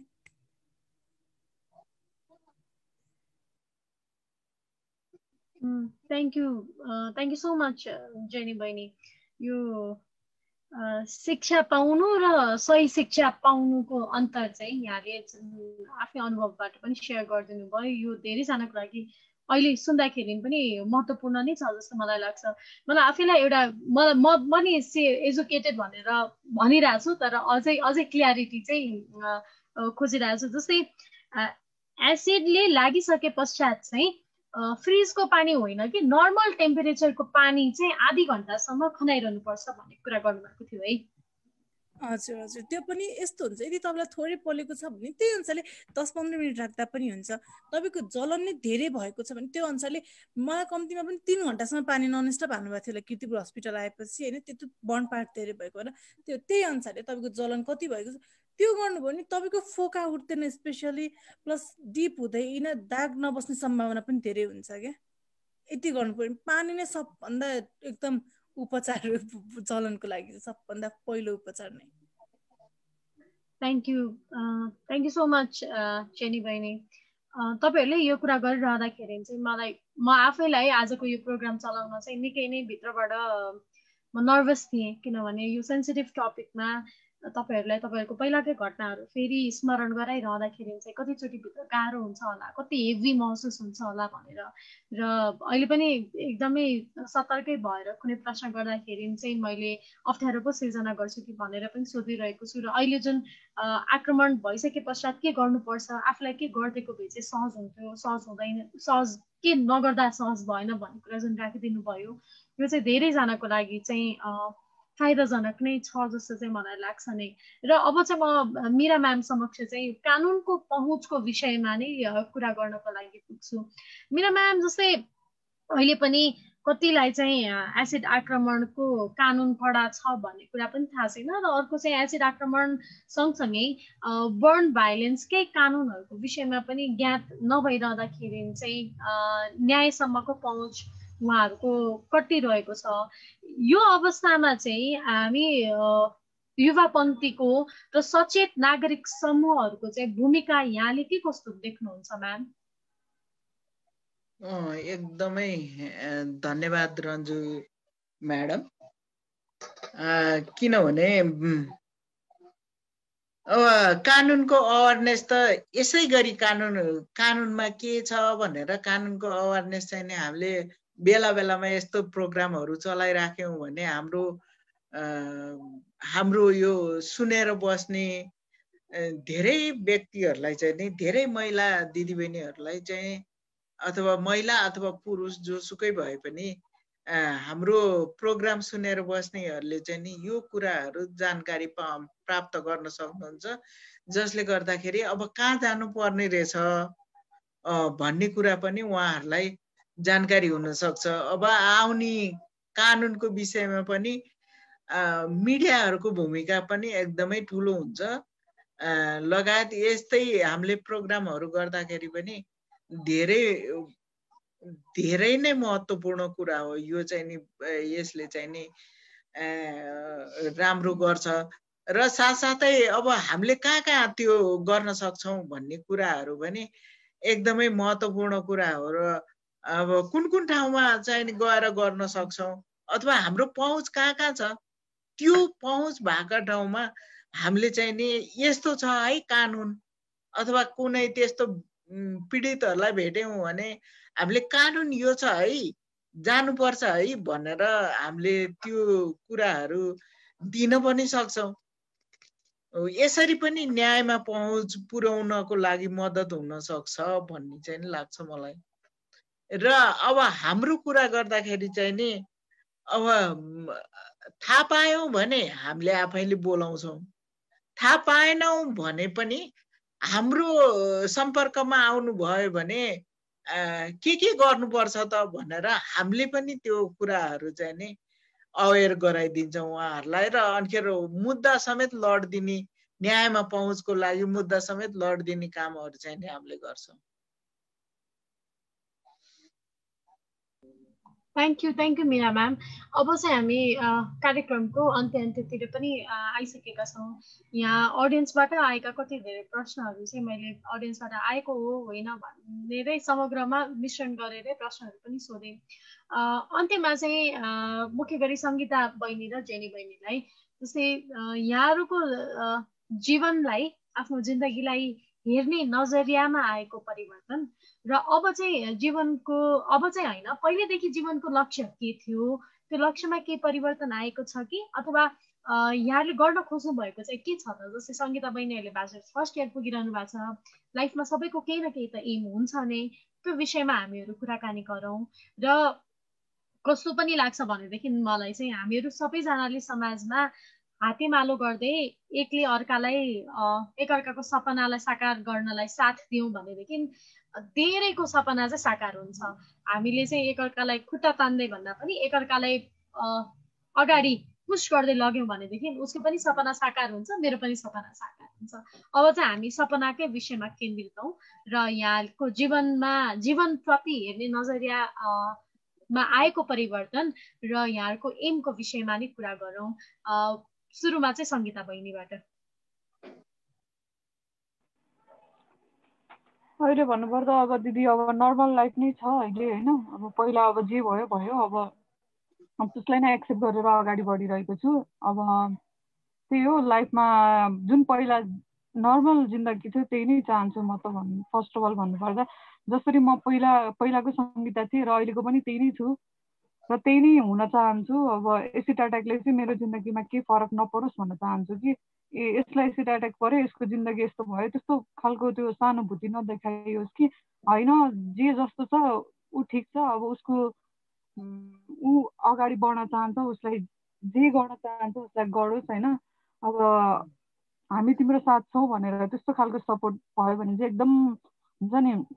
भित्रैबाट अगाडि बढ्नमा चाहिँ धेरै हौसला आउँछ र साथसाथै अब त्यही हो अब यही एसिड एट्याककै केसमा अथवा अरू कुनै उसमै त्यसमै अब अब अरूलाई हेल्प गरेर हुन्छ कि आफूलाई पनि अलिकता केही गरेर हुन्छ कि अब त्यो यतिकै अब यतिकै गर्नेछु भन्नु त्यही नै हो मेरो त। Thank you so much Sangita बहिनी। बहिनी तपाईँको जस्तै एसएलसी दिँदै ताक्दाखेरि छ अथवा सबैको एउटा एम हुन्छ नि त म त यो बन्छु म त यो गर्छु भन्ने त्यस्तो केही छ? जस्तै त्यतिखेरको थियो अथवा अहिले पनि कुनै त्यस्तो कुनै काम छ तपाईँले चाहिँ मलाई चाहिँ यो बन्न मन छ है मलाई चाहिँ यो गर्न मन छ है भन्ने तपाईँको एम कुनै छ? त्यही हो अब त्यो त्यतिखेर चाहिँ अब भइन्छ जसको पनि भइन्छ होइन नर्मल व्यक्तिको। अब त्यतिखेर त थियो होइन अब एसिडले गर्दाखेरि चाहिँ अब मेरो सपना अलिकता अलिकता रोकिएकै थियो भनौँ न रोकिएकै थियो। अब त्यो जुन सोचेको थियो त्यो हुन सकेन तर त्यही पनि ठिकै छ। अब त्यो नभएर के भयो त? अब अर्को वे धेरै हुन्छ नि त अब जिन्दगीमा। त्यही हो अब। अहिले चाहिँ यसमै खुसी छु म कि अब यसबाटै अगाडि बढ्दैछु। जुन अहिले बाटो रोजेको छु त्यसमै खुसी छु। र भविष्यमा पनि अब त्यही बाटोमै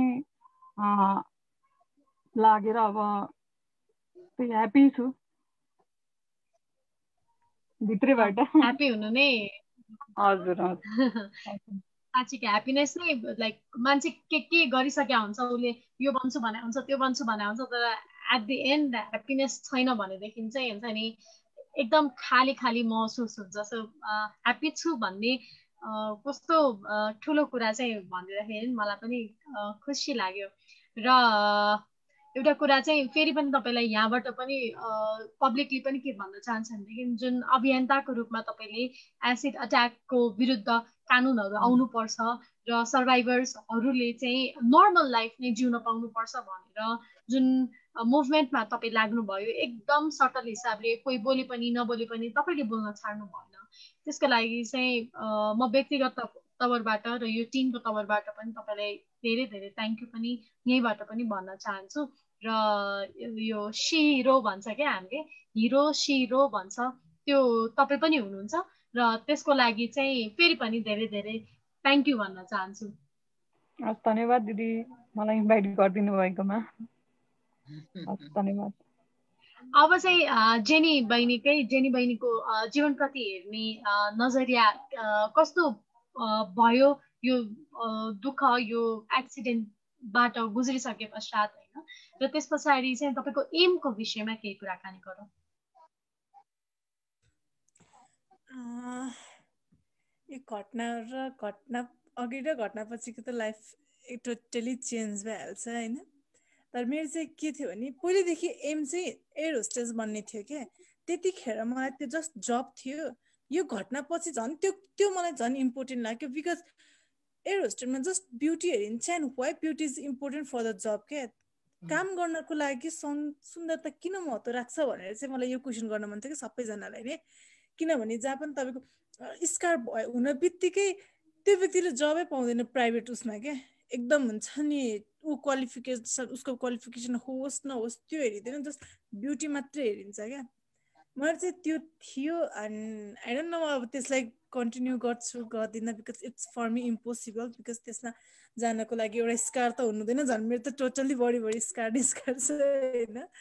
सो आई डोन्ट नो के हुन्छ बट यो स्कारले गर्दाखेरि मलाई चाहिँ के लाग्छ भने I'm beautiful by my heart के? Not I'm we are beautiful by our heart so बाहिरको स्कार जसले देख्छ उसले मनको सौन्दर्य नै देख्दैन क्या?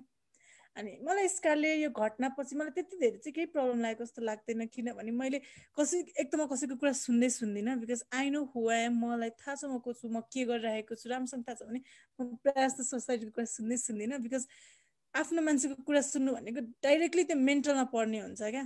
आफ्नो फ्यामिलीसँग डिस्कस गर्नु आफ्नो फ्यामिलीको कुरा सुन्नु छुट्यो तर फ्यामिली बाहेक बाहिरको मान्छेको कुरा सुन्न थाल्यो भने धेरै गाह्रो पर्ने हुन्छ। आफूलाई अगाडि बढ्नदेखि हरेक कुरामा। त्यही भएर आफ्नो फ्यामिलीसँग हरेक कुरा डिस्कस गर्नु उहाँले तपाईँलाई सजेस्ट गरिदिनुहुन्छ जस्तो लाग्छ म सबै कुरा आफ्नो मम्मीसँग सेयर गर्छु मम्मीसँग कुराहरू गर्छु। मलाई मम्मी भएपछि काफी लाग्छ म बाहिरतिर कसैको कुरा सुन्दिनँ कसैको कुरा मलाई वास्ता लाग्दैन कसैले मेरो बारेमा केही भन्नुभयो भने म इग्नोर गरिदिन्छु कि त्यसलाई। सो वाट भन्नुहोस्। आई रियली डोन्ट केयर भनिदिन्छु। त्यही भएर पनि मलाई त त्यस्तो केही छैन। एकदम सहज नै छ।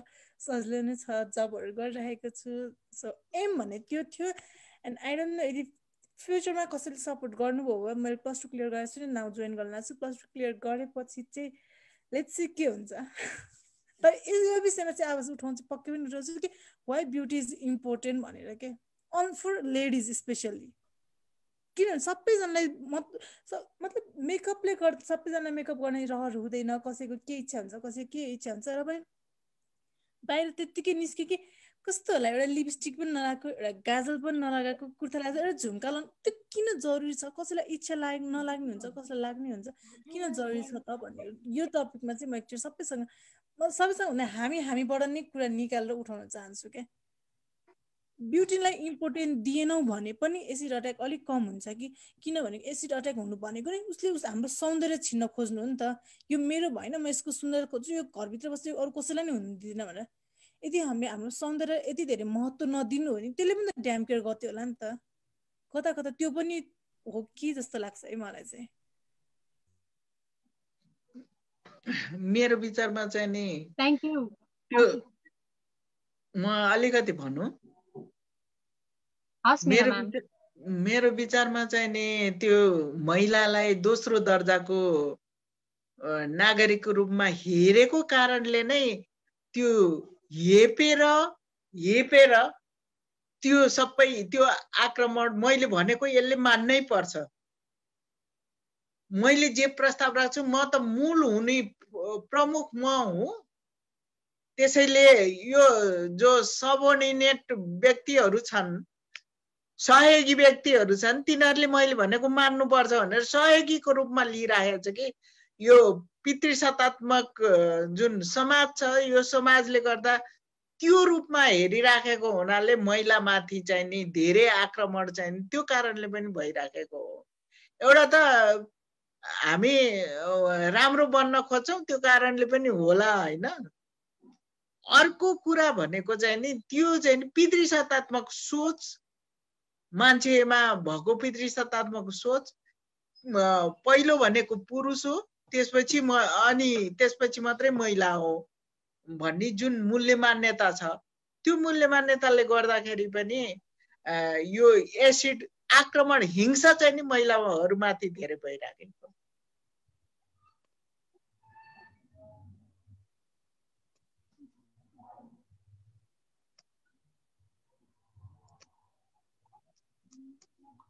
हजुर म्याम। हजुर के सुनिएको छैन जस्तो लाग्यो त्यति नै हो मैले भन्न खोजेको चाहिँ। एउटा प्रमुख कारण भनेको चाहिँ त्यो हो भन्ने लागेको भनेको मैले। होइन म्याम बिल्कुल हजुरले भन्नुभएको सुनि पनि रहेछ। र र यो एकदम गहिरो रूपमा कारण खोज्ने हो यो आक्रमणहरूको जुन आक्रमण चाहिँ हजुरले हजुरले पनि तथ्याङ्क अलिक उल्लेख गर्नुभयो असी प्रतिशतभन्दा बढी चाहिँ महिलाहरूलाई नै लक्षित गरेर पुरुषद्वारा भइरहेको छ भन्नेमा चाहिँ पितृसत्ता भन्ने एउटा मूल जरो मूल कारण पनि यसमा आएको हो कि यसमा आएको हो कि होइन यसमा आएको हो किनभने अस्वीकारै स्वीकार गर्न नसक्ने त्यो अस्वीकार पनि कोही केटीले गर्यो भनेदेखि स्वीकार गर्न नसक्ने त्यो मात्र म अब धेरै जस्तो त एकरो एकतर्फी प्रेमको कुराहरूले नि ऊहरू भइरहेको छ नि त आक्रमण भइरहेको छ मैले भनेको यसले किन नमानेको? म त प्रमुख हुँ नि। मुख्य व्यक्ति भनेको त म हो। मैले भनेपछि मान्नुपर्छ भन्ने किसिमको त्यो त्यो सोच के? त्यो त्यो सोचको कारणले नै यो सबै महिलामाथि हिंसा भइराखेको हो भन्ने लाग्छ मलाई।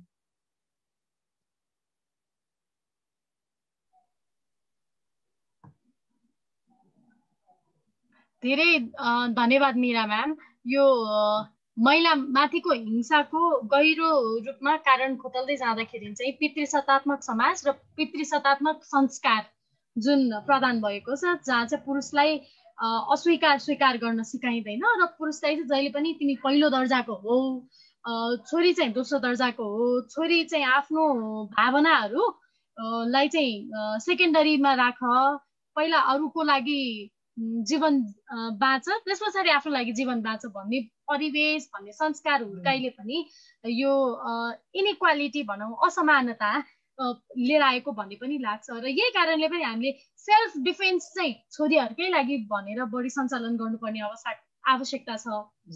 छोरीहरूको लागि सञ्चालन बढी भइरहेको छ भनेदेखि छोराहरूको लागि चाहिँ त्यो इमोसनल रूपले इमोसनल इन्टेलिजेन्स कसरी दिने तिमी शान्त कसरी हुने रिस कसरी घटाउने भन्ने चाहिँ त्यो खालको ट्रेनिङ चाहिँ बरु छोराहरूलाई दिनुपर्ने भन्ने त्यो रियालिटी पनि हेऱ्यौँ भनेदेखि हामीले हाम्रो परिवारमा कसरी हुर्काइ बढाइ भइरहेछ भन्ने कुरा क्वेसन गर्नुपर्छ। र म्यामले भन्नुभएको कुरा एकदमै एकदमै अहिलेको अवस्थामा र पहिलेको अवस्थामा पनि मेल खान्छ जस्तो लाग्छ मलाई म्याम हजुर हजुर धन्यवाद। अब चाहिँ यो सँगै हामी चाहिँ आजको यो म मलाई नै निकै संवेदनशील लागेको र म पहिले पनि भने म आजको यो प्रोग्राम गर्न चाहिँ व्यक्तिगत तवरमा म आज नर्भस नर्भस नै थिएँ। यो किनभने कोही व्यक्तिको चाहिँ नितान्त आफ्नो जीवनको एकदमै पीडादायी अनुभव को कुराहरू हामी यहाँ गर्छौँ भनेर। यहाँ प्रोग्राममा चाहिँ पार्टिसिपेट भएर स्ट्रङली कुराहरू राखिदिनु भएकोमा सङ्गीता बहिनी चेनी बहिनी र मिरा म्यामलाई चाहिँ फेरि पनि धेरै धन्यवाद भन्न चाहन्छौँ। र फेरि पनि यो हेरिरहनु भएको साथीहरूलाई चाहिँ महिला कानुन र विकास मञ्चले चाहिँ धेरै गाह्रो अथवा आर्थिक अवस्थामा कमजोर रहनु भएको महिलाहरूको लागि चाहिँ कानुन न्यायसम्मको पहुँचलाई सहजीकरण गरिदिइरहनु भएको छ। उहाँहरूलाई यहाँहरूले सम्झिनुहुन्छ भन्ने कुरा पनि फेरि पनि भन्न चाहन्छु र उहाँहरूको बारेमा डिटेल इन्फर्मेसन चाहिँ हामी पनि हाम्रा फेसबुक पेजेसहरूबाट राख्ने नै छौँ। यति भन्दै आजको कार्यक्रम चाहिँ यही अन्त्य भएको। घोषणा गर्छु। सबैजनालाई पार्टिसिपेट हुनुभएकोमा धेरै धेरै धन्यवाद। हजुर धन्यवाद। हाम्रो पनि धेरै धेरै धन्यवाद। थ्याङ्क यू सो मच डे इन्भाइट गर्नुभएकोमा। जस यो विषयमा डिस्कस गर्नुभयो कुरा सुन्नुभयो धेरै खुसी लाग्यो। Thank you so much for everyone